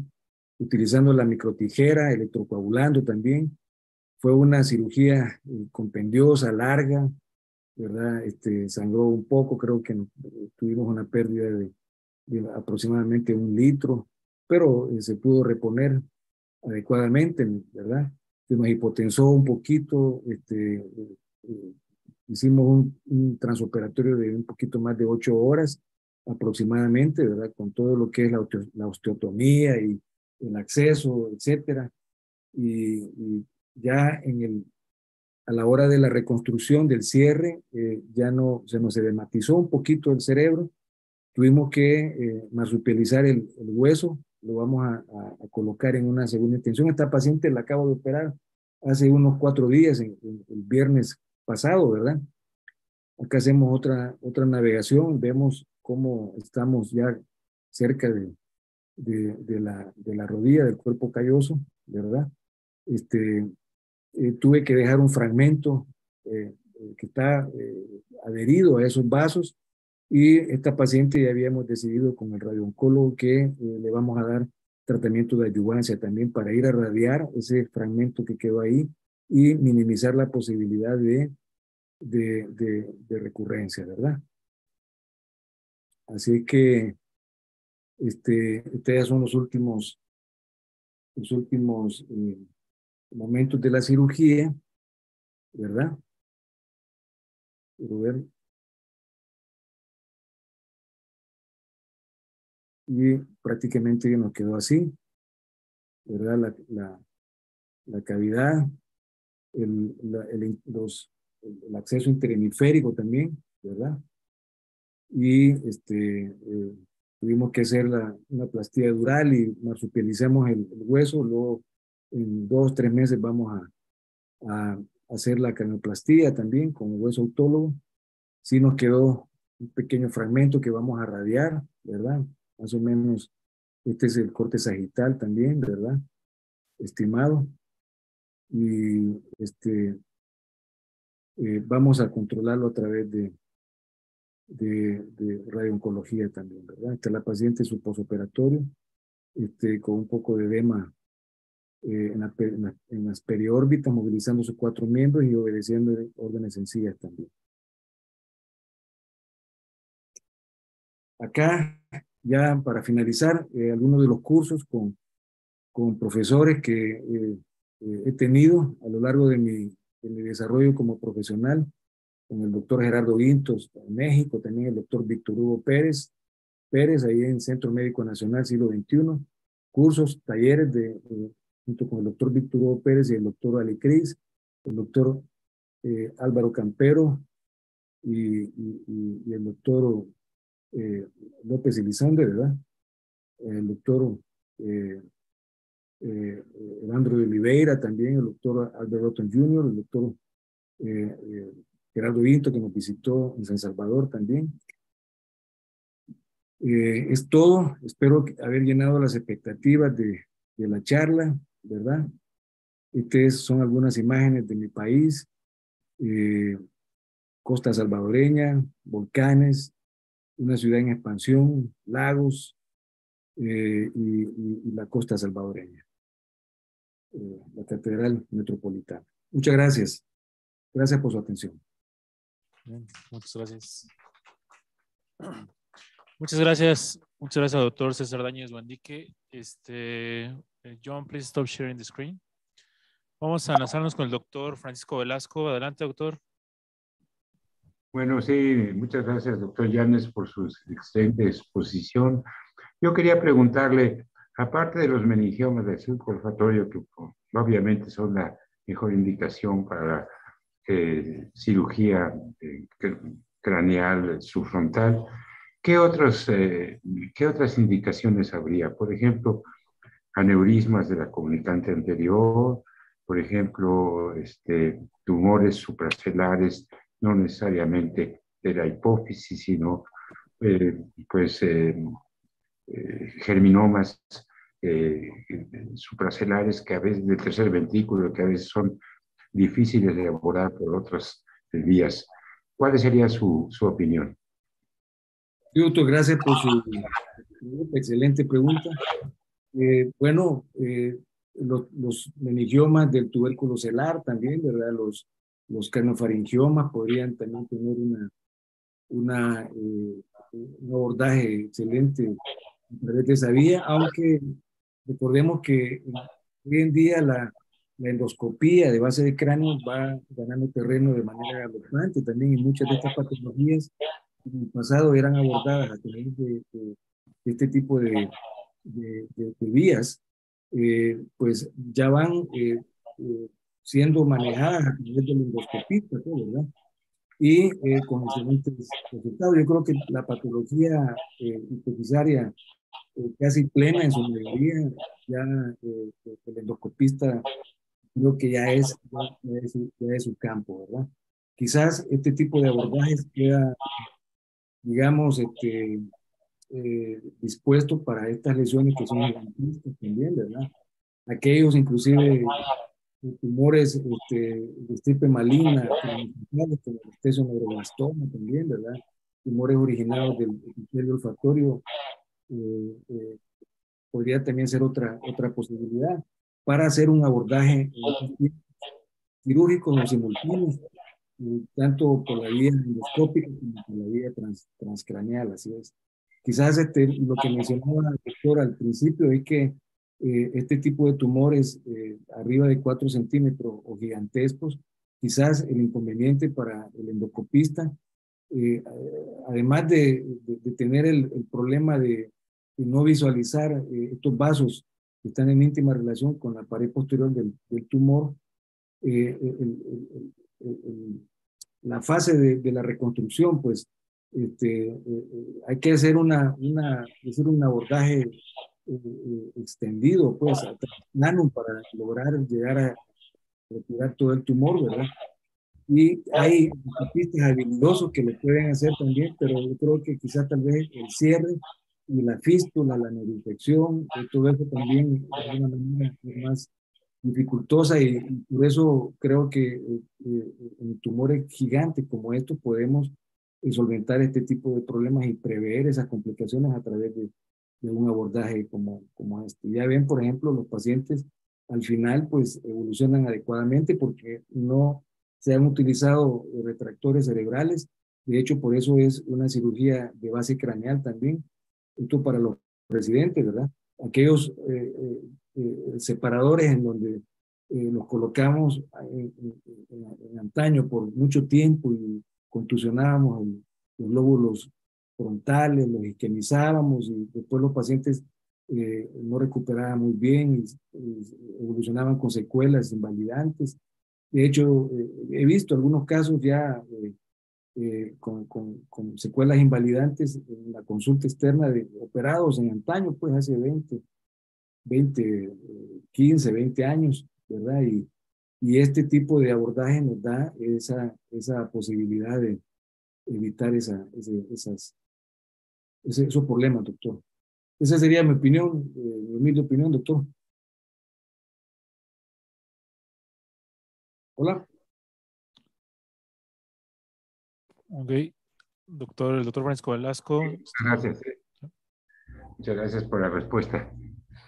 Perfecto. Este, doctora Diana Ochoa, tenemos con preguntas o comentarios en línea. Buenas noches. Sí, tenemos una, pregunta para el doctor. Muy bien, doctor, le preguntan si eh, qué recomendaciones nos daría para cuidar en, en, medida de lo posible los bulbos olfatorios y así evitar la anosmia posquirúrgica en estos pacientes.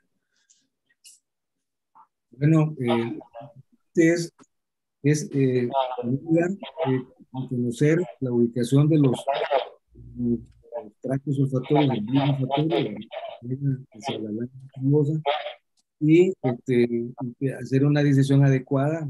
Generalmente los vamos a poder visualizar de manera plena en aquellos tumores que no son tan voluminosos, pues, ¿verdad?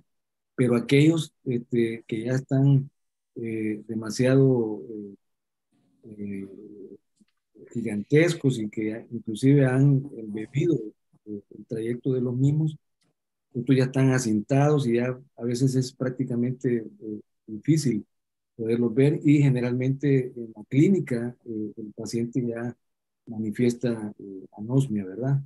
Ya son pacientes que vienen con un grado de hiposmia o anosmia eh, bien significativo también. Pero básicamente sería una adecuada disección y, tratar de, en primer lugar, reconocer también las estructuras anatómicas que vamos a ir disecando poco a poco, ¿verdad?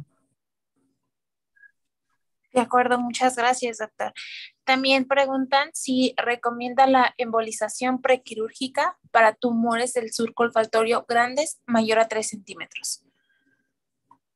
Sí, este, eh, bueno, ha, sido discutido eh, grandemente, ya lo mencioné yo al principio, el, uso de la, de la, embolización con microferas de Onix también, este, y se ha determinado que lejos de, de ayudar pues, a de vascularizar.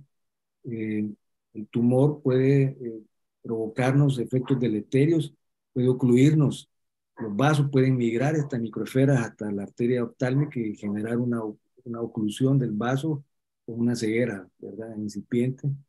Así es que eh, la embolización para este tipo de tumores no está recomendada. Diría yo que está hasta con cierto grado proscrita, ¿verdad? pero no, no utilizar otros métodos para, para poder desvascularizar el tumor, este, los cuales ya mencioné durante la charla. De acuerdo, muchas gracias, doctor. Esas son todas las preguntas en medio online y de nuevo muchísimas gracias por su excelente ponencia. Excelente. Gracias a ustedes. Gracias, Diana. Y para terminar, ¿alguna pregunta o comentario aquí en el auditorio?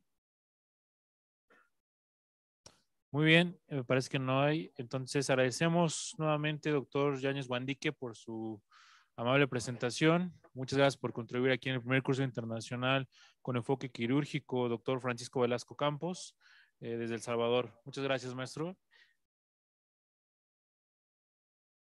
Gracias a ustedes y felicidades por tratar de difundir la educación continua, que es lo importante, ¿verdad? Como les dije al principio, eh, la educación no tiene fronteras. Gracias también al doctor John Bennett por, por, por, eh, globalizar también este tipo de, de webinars. Gracias a todos por su atención. Muy bien, muchas gracias, doctor. Continuamos con nuestro programa con la siguiente plática. Eh, tenemos el gusto de presentarles a la doctora Paula Alejandra Benítez Gasca. Voy a leer un breve resumen de su semblanza. La doctora Benítez es licenciada en medicina por la Facultad de Medicina de la Universidad La Salle Posteriormente realizó un posgrado en neurocirugía en el Hospital General de México.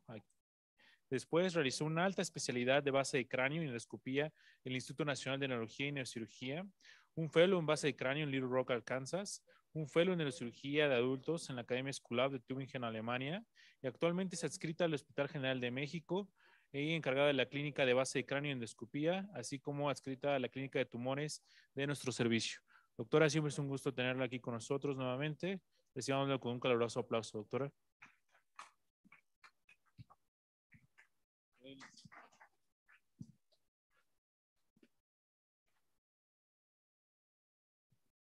Muchas gracias, Noé.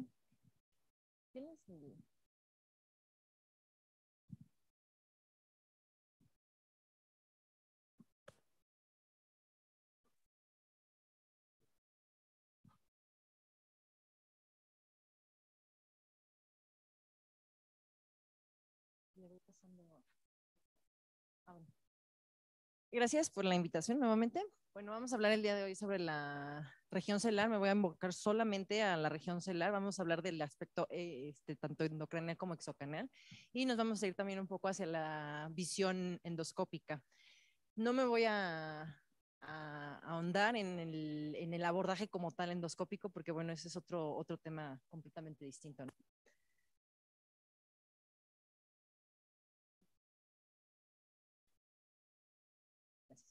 Bueno, como les platicaba, eh, la región celular la vamos a ubicar básicamente en el en la porción central de la base de cráneo. Como ustedes recordarán, esta se va a dividir en tres porciones, en una vista endo- endocraneal y exocraneal.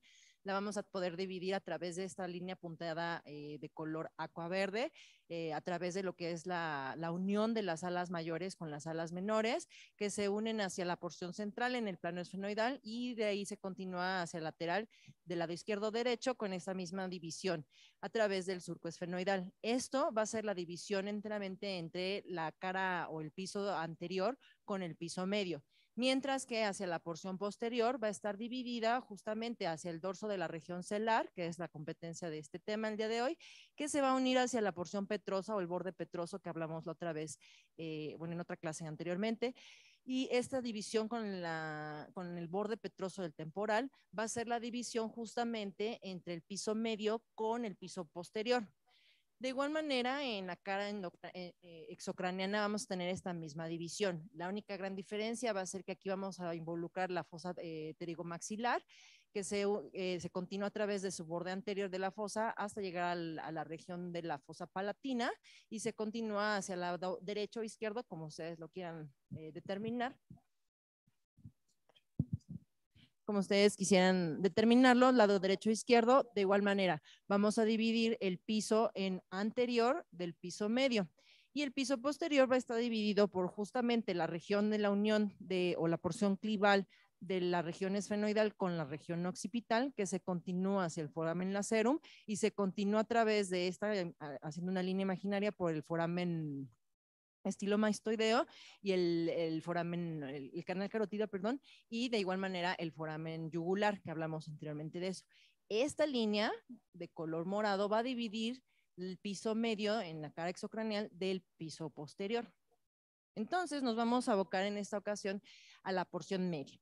Ustedes recordarán que la porción media va a estar constituida por el, hueso esfenoidal, que va a tener varias porciones, las cuales vamos a desglosar en las próximas diapositivas, y esta se va a unir hacia la porción escamosa del hueso temporal para formar el piso en su, forma, porción lateral del piso medio. Y la porción medial del piso medio va a estar conformada por la región celar. Bueno, vamos a entrar en, en materia hablando del hueso esfenoidal. El hueso esfenoidal de igual manera lo vamos a dividir en una cara endocraneal, exocraneal y en una cara frontal. Entonces, viéndolo en una cara endocraneal, vamos a dividir esto. Bueno, el- ustedes recordarán que el hueso esfenoidal va a estar conformado por las alas mayores del esfenoides, las alas, eh, perdón, las alas menores, las alas mayores, que estas se van a unir hacia la porción escamosa del hueso temporal y la región celular propia como tal. Esta la vamos a dividir en tres porciones de igual manera. Una porción medial que está dibujada en este recuadro azul, donde va a sentarse la, la glándula hipofisaria, una región paracelar, donde prácticamente va a estar habitado el seno cavernoso, y una porción más lateral, que es la más ancha, donde va a estar depositado o asentado el óvulo temporal. Esta va a ser la unión del hueso, del hueso temporal en su porción eh, escamosa con el ala mayor del esfenoides. Bueno, eh, en, una, en una cara eh, eh, in- endocraneal vamos a tener entonces que las alas mayores van a formar un surco esfenoidal. Este surco esfenoidal va a ser la división a la unión de las alas mayores con las alas menores. Estas se van a continuar hacia la porción media con el plano esfenoidal. En el plano esfenoidal, justamente en, en la porción central, vamos a tener el yúgulo, el yúgulo esfenoidal. Este yúgulo esfenoidal va a ser eh, simplemente un remanente de la unión de las dos partes, tanto derecha como izquierda, en, los embriones como tal. Y después nos, eh, las, alas mayor, las alas menores se van a continuar hacia posterior y medial a través de un accidente anatómico que son estos, estos piquitos que al final van a formar el techo de la órbita. Estas van a conformar más hacia posterior o más inferior lo que son las, las apófisis clinoides. Entonces, en, en- en una cara exocraneal orbitaria, como les platicaba, el ala mayor del esfenoides va a formar el techo orbitario. De igual manera, vamos a tener una banda ósea eh, que va a dividir el techo orbitario y, eh, obviamente el canal eh, orbitario de del, del foramen supraorbitario. Y este es el que nosotros vamos a llamar como optic strut. El optic strut, como ustedes recordarán, pues va a ser al fin y al cabo también una inserción de la trinoides, que va a ser extensión del ala menor del, del esfenoides. Entonces, El ala mayor de, eh, de ahí nos vamos a continuar con una porción eh, más eh, central y posterior, donde se va a sentar el quiasma óptico. Aquí va a estar en, en la impresión o portal, va a correr aquí como lo dice la, la, palabra, el quiasma óptico, y este se va a unir hacia la parte más posterior eh, y medial con la región celar. La región celar a su vez va a terminar en lo que es el dorso celar. El dorso celar va a ser el borde del piso medio con respecto al piso posterior y va a ser justo el sitio de unión de la porción clival esfenoidal con la porción clival occipital entrando un poquito más en materia, como les platicaba ya eh, anteriormente, eh, es de suma importancia recordar este, esta banda ósea, porque como les platicaba, al fin y al cabo, el ala mayor del esfenoides, de igual manera, va a conformar parte de la porción lateral de la región dorsal. Y a su vez va a conformar la fisura supraorbitaria, que va a estar dividida a través del óptico strut del canal orbitario. En una eh, visión un poquito más eh, aumentada, como les platicaba yo. De igual manera, el quiasma óptico pues va a terminar hacia los laterales a través del foramen óptico, por donde van a salir los nervios ópticos, evidentemente. Bueno, va a haber otro accidente anatómico, eh, ya hablando de la región eh, de la región dorsal como tal. En muy pocos casos puede haber incluso una apófisis clinoidea media. Esta va a tener suma importancia, sobre todo cuando llega a cerrarse en, una, en, en un círculo como tal óseo para envolver la carótida. Eso lo vamos a ver un poquito más adelante. Eh, como les platicaba, bueno, existe eh, en, la región, eh, en la región dorsal, en su cara lateral, va a haber eh, personas o especímenes como tal que van a tener esta, esta apófisis clinoidea media. Esta apófisis clinoidea media junto con la apófisis clinoidea anterior pueden llegar a, a circundar en su totalidad en un, un círculo óseo a la, a la, arteria carótida. Y esto va a ser importante para nosotros quirúrgicamente hablando porque, bueno, nosotros hacer eh, eh, clinoidectomías, tanto intradurales como extradurales, en dado caso que puede existir este accidente anatómico, va a ser difícil mover la, la carótida y por lo tanto descubrirla como tal. Después, eh, en la región más lateral y más posterior, la región de la silla como tal va a terminar con las hipótesis posteriores. Como tal les platicaba, otra de las eh, situaciones que nosotros podemos ver va a ser la língula. La língula va a ser un pico óseo que va a tener eh, la cara más lateral de la región más central o de la región celular. Esta va a estar en unión o en estrecha unión con la, porción más, el apex petroso de, la porción petrosa del hueso temporal. Es importante porque aquí justamente es el sitio, el landmark, donde la, arteria carótida en su porción petrosa se convierte en la porción petrolingual ya que aquí justamente se inserta el ligamento petrolingual y es la división justo entre la porción donde ya entra el carótido y esta parte es la que justamente entra esa es la que más nos va a importar en, esta, en los abordajes celares, debido a que va a tener una estrecha relación e impresiones óseas, sobre todo en, en la sí, muy poco, ¿eh? Voy a regresar un poquito ahora para hablar sobre el, el ala mayor del esfenoides. Bueno, el ala mayor del esfenoides va a ser, como ya lo mencioné, la, una de las porciones más grandes que tiene el hueso. Y ya lo había mencionado anteriormente, se une hacia, eh, hacia posterior con la porción escamosa del hueso, del hueso petroso. La importancia del ala mayor del esfenoides es que va a tener diversos orificios eh, por donde van a salir eh, va, va, diversas estructuras. Por favor, recomienda a la doctora que hable más fuerte o que se acerque el micrófono.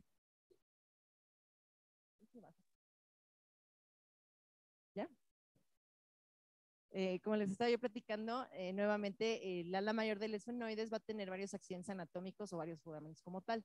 Entonces, el primero y más grande vamos a ver eh, como tal el foramen oval. El foramen oval, como ustedes recordarán, va a ser el sitio de salida o de emergencia del foramen, de la tercera rama del nervio trigémino, la rama mandibular. Un poquito más hacia adelante vamos a tener el foramen, el foramen rotundo. El foramen, el rotundo como tal eh, va a ser también un sitio de salida, o bueno, va a ser el sitio de salida de la rama segunda o maxilar del nervio trigémino. Y en algunos casos existe esta língula, bueno, esta la língula que estamos platicando, que puede llegar a formar un foramen, eh, eh, un, foramen por donde puede salir una vena emisaria. De igual manera, hacia el lateral, que es la porción más, más lateral de, del ala mayor del esfenoides, vamos a tener el foramen espinoso. El foramen espinoso, como ustedes recordarán, va a ser el sitio de emergencia de la arteria meningia media. Eh, otra situación importante es que, bueno, el foramen, eh, parte de la, parte, o sea, la parte anterior del foramen carotidio, del canal carotidio, va a estar conformado por la parte más posterior del ala mayor del esfenoides.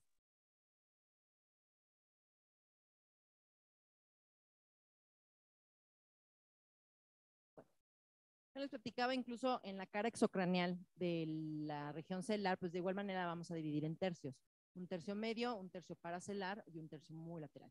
El tercio medio va a estar eh, conformado por el rostrum como tal y los forámenes, eh, perdón, y los ostiums como tal del rostrum, así como la unión que tiene, y, bueno, la, la espina esfenoidal, que va a ser la unión con el vómer como tal y hacia adelante va a ser la unión con eh, el septo nasal.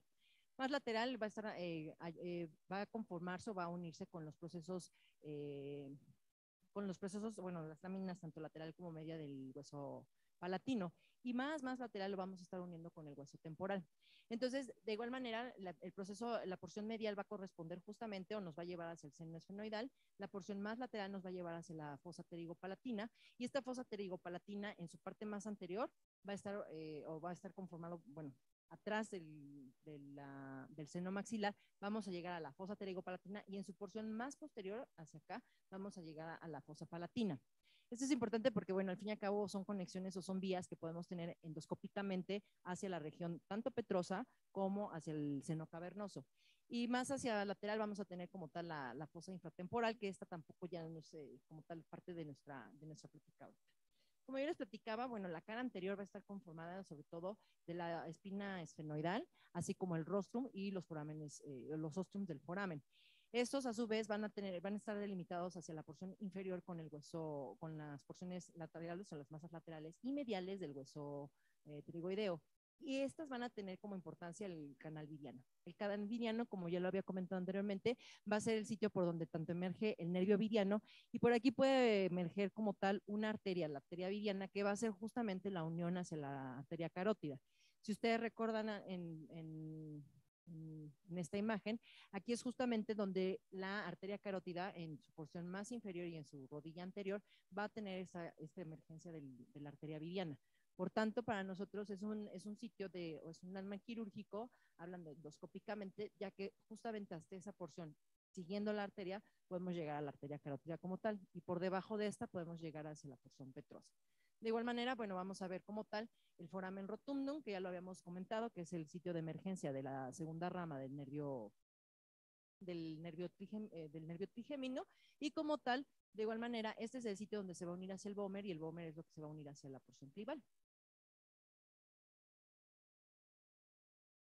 Bueno, esta es una, eh, esta es una cara lateral, un corte lateral, eh, justamente de la cara exocraneal en la cara anterior. Como les platicaba, la importancia de esto es que va a ser el sitio de abordaje para nosotros hacia la región celular y va a ser el punto de partida para ir hacia otros lados, ya sea incluso hacia el piso anterior, hacia el piso, hacia el piso posterior, al clivus como tal, o hacia la porción lateral como el seno cavernoso, o incluso mucho más lateral hacia la fosa pterigopalatina o, eh, o palatina como tal.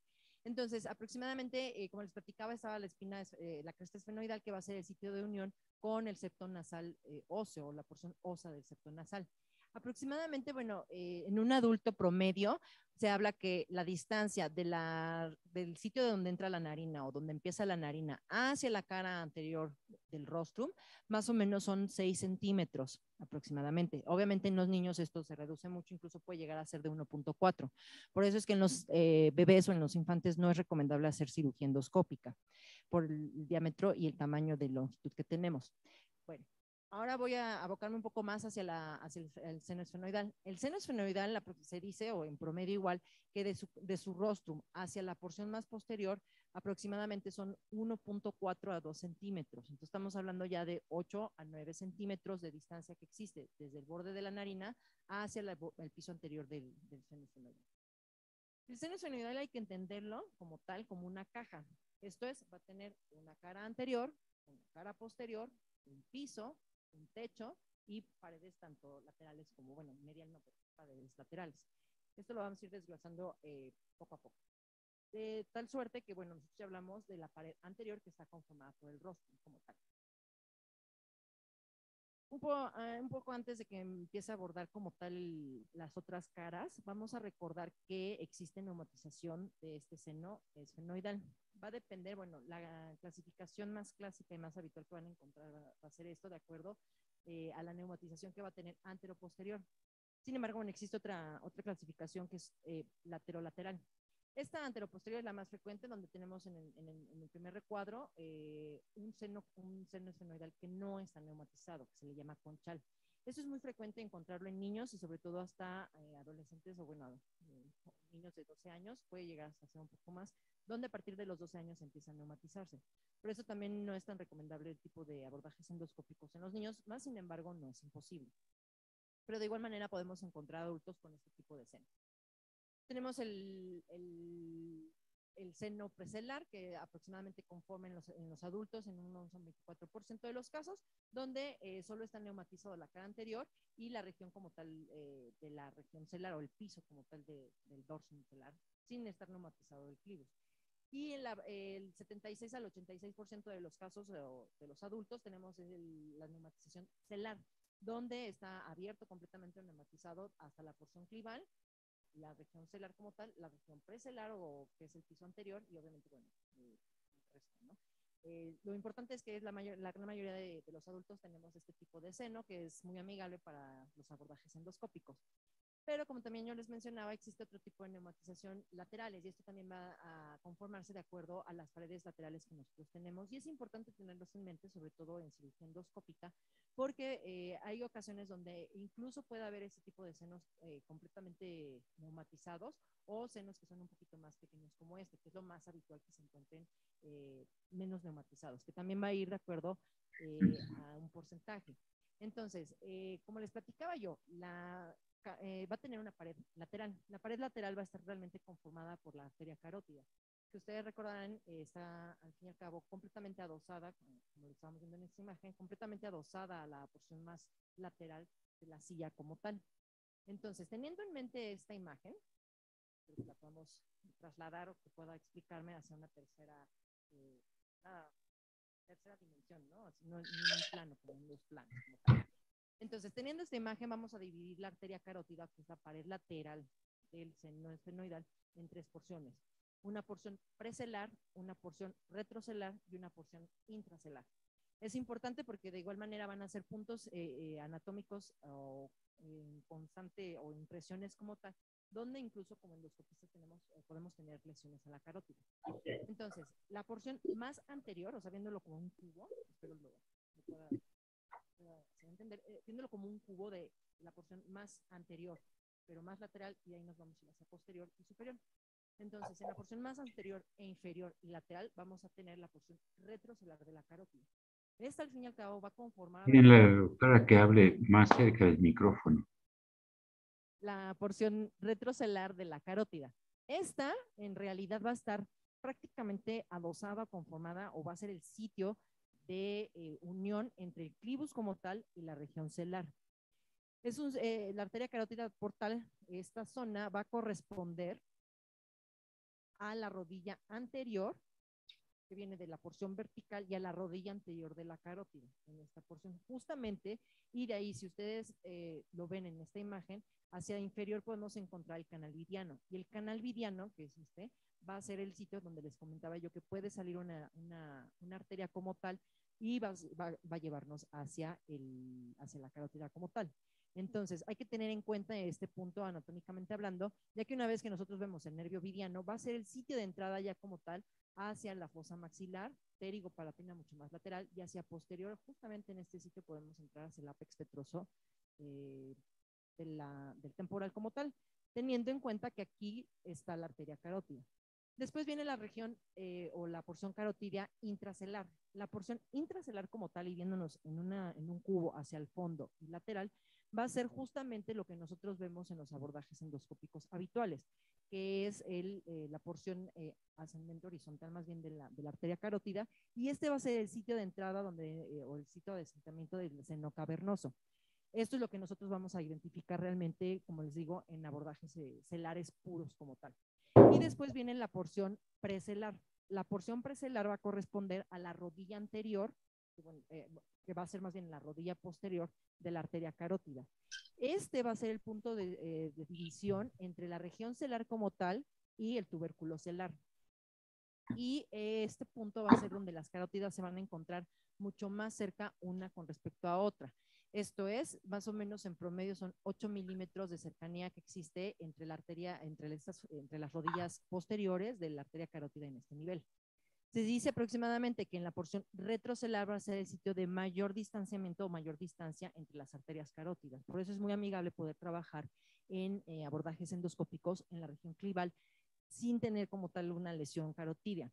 Eh, aproximadamente esta distancia va a variar entre 12 a 14 milímetros dependiendo de cada, cada persona, teniendo una distancia aproximadamente entre 9 a 10 milímetros entre las arterias carótidas en la región celar, siempre y cuando pues no tengamos ensanchamiento o distanciamiento secundario a una lesión tumoral. Bueno, como les platicaba yo, de igual manera, el piso como tal, entonces también no vamos a, ese va a ser el piso. Ya hablamos de la cara lateral, ya hablamos de la cara anterior, ahora vamos a hablar del piso de la región celar.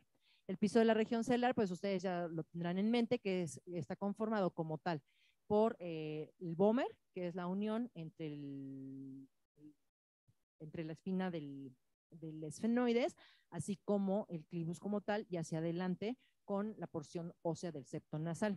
Hacia el lateral nos vamos a ir y vamos a encontrar entonces las, eh, las porciones palatinas o tanto lateral como medial del hueso palatino, que estas al fin y al cabo nos van a llevar hacia, ya lo he repetido varias veces, hacia la fosa eh, y a la fosa pterigoidea. De igual manera vamos entonces a tener el canal viriano y más allá del canal viriano vamos a tener como tal ya eh, la pared lateral o la, eh, pared posterior, perdón, del, del seno maxilar esto como tal se puede encontrar incluso totalmente neumatizado y hay que tener cuidado hay que tener idea de que también existe esta neumatización de medial hacia lateral, debido a que, bueno, podemos tener incluso aquí lesiones carotídeas este, cuando nosotros queramos ir a la porción medial. En el 45% de los casos se dice que existe siempre un septo eh, celar que va completamente medial, pero eh, hay que tener siempre cuidado porque no es, como les digo, es el menos porcentaje de los casos habitualmente. Y bueno, el techo como tal va a estar conformado entonces del tubérculo celar, o sea, va a ser la unión del, de la silla turca como tal, o del cuerpo de la silla turca, que se va a unir hacia la porción del tubérculo celar y el plano, eh, del plano, del plano mesfenoidal. Es importante, como les comentaba, este, este punto en la región precelar, porque habitualmente, eh, ya bueno, y de aquí, que es la unión, o es el punto de estrechamiento más importante que existe entre las carótidas. De aquí, evidentemente, bueno, ya se abren completamente y es muy seguro trabajar a través del plano mesfenoidal. Sin embargo, este punto es un sitio donde justamente está eh, adosada prácticamente la carótida al, hueso como tal y es un punto donde incluso se puede lesionar la, arteria carótida. les platicaba yo entonces eh, en la diapositiva anterior, el techo como tal va a estar conformado entonces por el, el, el plano mesfenoidal, el tubérculo celular y el plano esfenoidal. Bueno, eh, hablando ya quirúrgicamente también otros landmarks importantes que tenemos en la región celular van a ser sobre todo el receso optocarotídeo, que va a ser la, la impresión de hueso entre el, la, bueno, más bien, va a ser el hueso que se encuentra entre la impresión del quiasma óptico con la impresión de la arteria carótida en su porción infracelular. Este va a ser nuestro punto de, eh, nuestro, nuestro caballito para poder nosotros saber que de aquí hacia abajo es seguro hacer nosotros un fresado del, del piso esfenoidal y poder entrar como tal a la glándula hipófisis. De igual manera, bueno, pues hay que identificar, como les había dicho, los, los septos eh, los septos esfenoidales, que en un 45% se encuentra uno medial como tal. Pero bueno, este va a ser el, el, receso optocarotidio medial y existe otro receso que es el receso optocarotidio lateral, que en pocos casos se alcanza a ver de, así como una impresión como tal. Es importante también recordar que este receso optocarotidio va a conformar entonces la pared, va a conformar hacia arriba, al techo, como tal, hacia la porción intracraneal, el óptico strut. Y ustedes recordarán que el óptico strut va a ser la división entonces entre el canal óptico y el, y el foramen supraorbital. Bueno, eh, como les eh, comentaba yo anteriormente, bueno, en un acercamiento eh, tenemos entonces ya el piso, la pared lateral, el, techo como tal de la, de la región celar y ahora la pared posterior. La pared posterior eh, exclusivamente va a estar conformada como tal, lo que nosotros conocemos el piso de la región celar o el dorso de la región celar, que es un hueso que en su mayoría es, un, es muy delgado, más o menos 0.7 milímetros a 0.9 milímetros, que es justamente el sitio donde nosotros ya tenemos el abordaje como tal o eh, el fresado como tal hacia la región de la glándula hipofisaria. Entonces, recordando esto, es importante como tal nosotros tener en mente que la arteria carótida va a estar en estrecha relación de la, de la región celular y existen diferentes divisiones de acuerdo a su posición que vamos a tener con la, con la arteria, con, la región celular como tal. Y bueno, pues eh, esta es una vista endoscópica, así es como nosotros lo vemos habitualmente y como les platicaba, lo que nosotros identificamos como tal es eh, la prominencia carotídea, que más bien va a ser la región eh, como tal, eh, la región celular, la región del, o la impresión que tiene el canal óptico, la unión del canal óptico, más bien el espacio entre el canal óptico con la impresión de la carótida, va a ser el, receso optocarotídeo y de ahí nosotros sabemos que hacia la porción medial vamos a tener la región celular como tal, hacia inferior el clivus y hacia arriba el tubérculo celular y el plano esfenoidal como tal. Y como les platicaba yo, bueno, pues esta es otra, otra vista endoscópica, donde nosotros podemos ver ya eh, aquí incluso completamente denudada la, la, arteria carótida, y esta como tal es ya la región de la, del seno cavernoso. Que bueno, esa es otra, también tiene otros eh, landmarks quirúrgicos y es eh, motivo de, de, otra plática como tal, por eso no andé mucho en ella. Este, y bueno, ya de aquí podemos nosotros irnos hacia tanto el piso, el piso posterior como el clivus o el piso anterior, así como el piso lateral. ¿no? Pues básicamente esa es como una forma general de ver el, la región celular. Eh, digo, es, es, muy, muy amplio el tema. Eh, y pues bueno, de igual manera no quise yo andar un poco más en, en otras regiones por lo mismo, ¿no? Pero bueno, espero no haya sido un tanto claro. Si existe alguna duda, pues muchísimas gracias a la doctora Alejandra Benítez. Gracias, doctora. Este, doctor maestro Francisco Velasco Campos, adelante, maestro. Sí, sí, yo creo que es muy interesante lo que ha presentado la doctora. Hay una situación que a los neurocirujanos nos eh, preocupa principalmente y es eh, todo, son todos los septos que hay dentro del seno esfenoidal que muchas veces se insertan en, en la base del, de, de, la prominencia donde está la carótida y, y, lo confunde uno con la pared contralateral a donde va a entrar y puede ser este, eh, causa de una situación desastrosa de abrir el, el, el piso de la silla trunca exactamente donde está la carótida interna. Entonces yo creo que eso es muy importante para los cirujanos de saber que antes de, de, del procedimiento transfenoidal tengan una eh, eh, tomografía computada del cráneo y estudien bien la región celular para que no sean desviados por los septums intracelulares hacia una situación que puede comprometer la apertura del piso de la silla turca.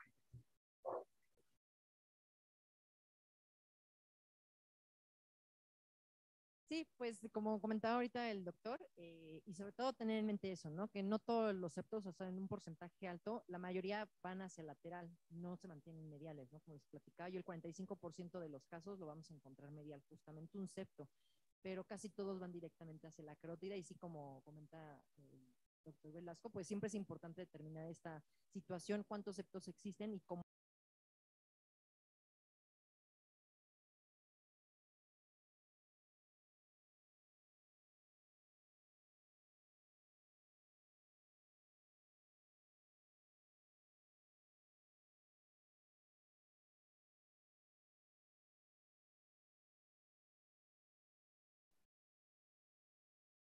Se escucha, John. En cirugía les comento yo siempre a mis pacientes que traten de buscar más bien el BOMER.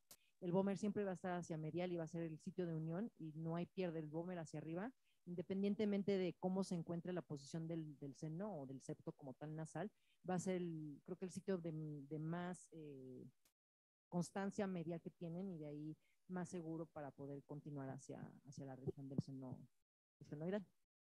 Pero sí, y otra cosa importante también determinar, como les digo, tener en mente, eh, porque, bueno, incluso me ha pasado que justo en la porción eh, preselar de la arteria carótida, es un sitio donde realmente la arteria está muy adosada y muy anterior. Entonces sí es fácil poder dañarla. Muchas gracias, doctor Francisco Velasco Campos. Doctor César Llanes, adelante. Sí, eh, felicidades, doctora, por, por, la, por su ponencia, eh, muy ilustrativa y didáctica.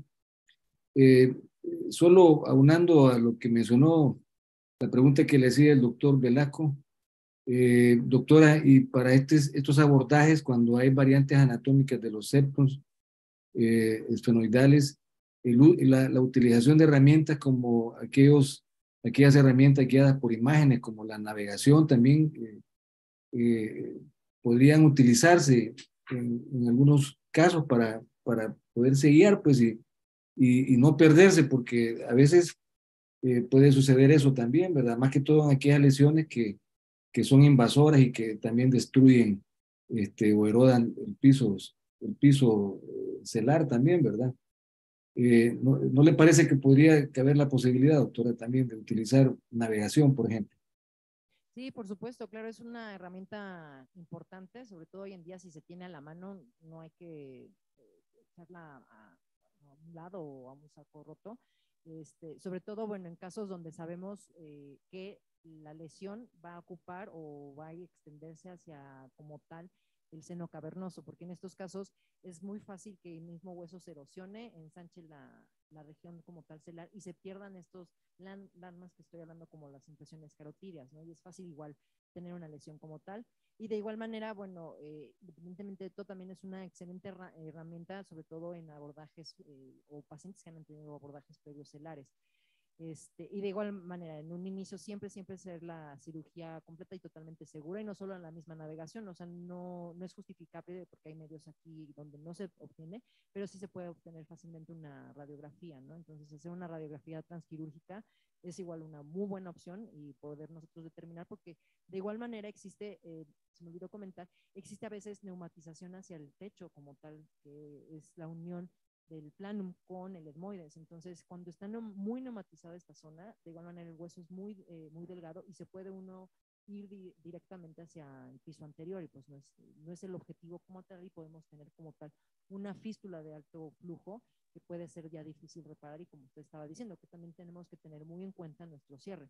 Entonces, si todos los elementos como eh, navegación o incluso, como les comentaba, una misma radiografía nos puede ayudar muchísimo y sobre todo nunca minimizar ningún caso a ningún paciente por muchas veces que se haya abordado esta región o que se tenga una expertise, siempre ir con, con estas ideas o estos armas, ¿no? Porque sí es fácil tener eh, o poder tener lesiones en esta zona y incluso mortales, ¿no? Que no es, no es el fin.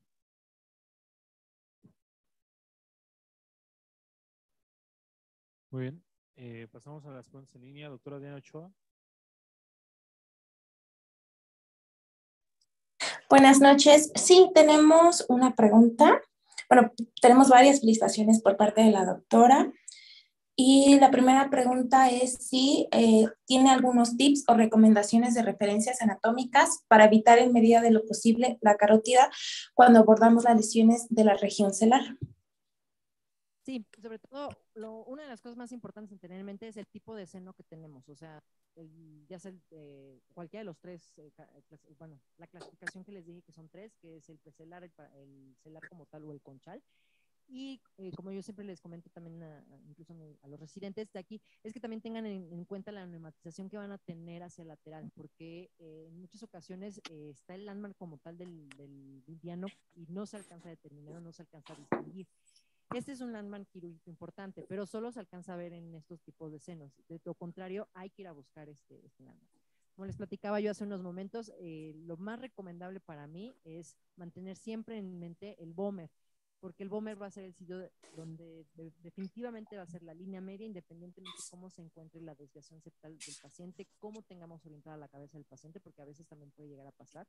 Eh, digo, vemos algunos neurocirujanos que no pinchamos cuando hacemos este tipo de, de abordajes endoscópicos. y es fácil que se pueda llegar a mover la cabeza. Entonces, eh, en estos casos siempre mantener el bomber en mente y buscar el bomber y a partir de eso pues, continuar sobre la línea, la línea media y de igual manera eh, buscar o tratar de buscar eh, la porción infracelular de la carótida, que como les digo, siempre y cuando ustedes eh, tengan en mente que no es un tumor o no tenemos ante nosotros una lesión que se expanda o que se extienda como tal hacia el seno cavernoso, se va a ver la, la, la carótida. De igual manera, para iniciar el fresado, siempre les recomiendo que sea en línea media y a partir de la línea media ir disecando como tal esta pared, que es muy delgada, les digo, aproximadamente 7 milímetros, es relativamente delgado, es casi como una cáscara de huevo, y se puede ir disecando completamente eh, la dura madre de la región celular hasta en nosotros encontrar el borde que tenemos con arteria carótida. Y de igual manera, bueno, cuando nosotros ya estamos ahondándonos más hacia la porción infracelular o la, la, impresión carótida en, la, en el, los abordajes, pues tener mucho cuidado con los instrumentos que utilizamos, siempre tener en, en, mente o tener en vista como tal la punta de, nuestro, de nuestros instrumentos y hacer pequeños movimientos, o sea, no, no, no demeritar que una Carrison pueda llegar hasta el fondo y, y tener una, una, ruptura de la, de la arteria carótida. Y como les comentaba anteriormente, y como lo dijo ya también el doctor Velasco, pues siempre tener en mente una imagen eh, eh, tomográfica y poder nosotros determinar el número de septos que hay y hacia dónde se dirigen como tal.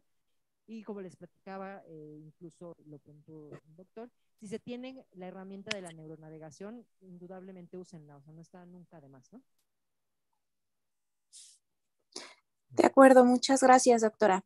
Otra pregunta que nos hacen es si hay landmarks anatómicos donde podemos considerar para fresar el piso espinodal, espinodal de manera segura para la resección de adenomas hipofisarios pues como les digo, siempre irse a la línea media es lo mejor, sobre todo en, regiones muy, este, más bien en, pisos muy deformados como tal. Pero bueno, siempre mantener en si tenemos una región celular muy anatómica donde nosotros podemos ver el optic extrude, el optic extrude va a ser la división o el sitio de división entre el nervio óptico y la arteria carótida. Y de ahí vamos a nosotros ver la, la impresión de la carótida. Si nos vamos hacia medial, vamos a tener el tubérculo celular. Y de ahí hacia abajo, vamos a tener la porción clival. Toda esa zona de, de, del tubérculo celular hacia la porción clival medial va a ser siempre lo más seguro.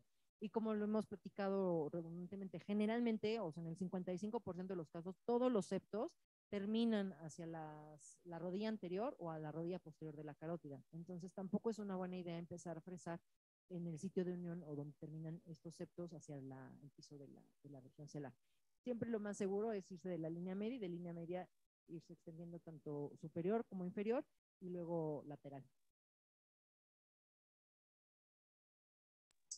De acuerdo, muchas gracias, doctora. Esas son todas las preguntas y agradecimientos de nuevo por su ponencia.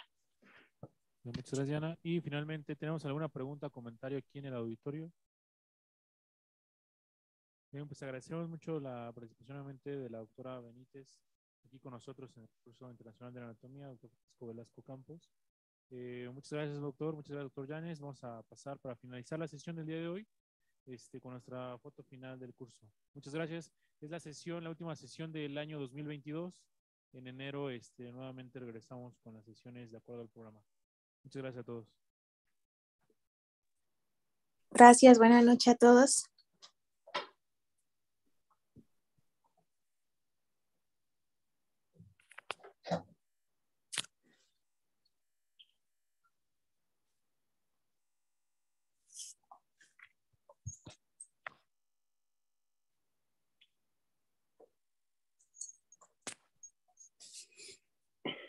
Doctor, doctor Velasco, si gusta prender su cámara, ya vamos a tomar la foto.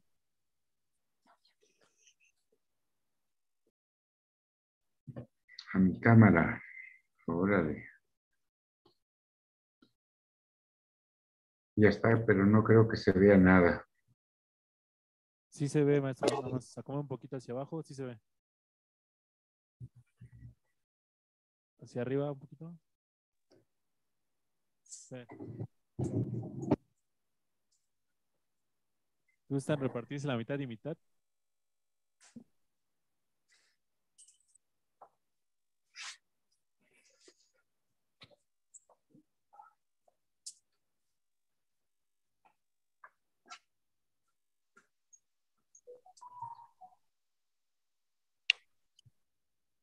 Muchas gracias. Excelente, buenas noches. Gracias, doctor César. Gracias a todos. Buenas Buenas noches. Good night, John.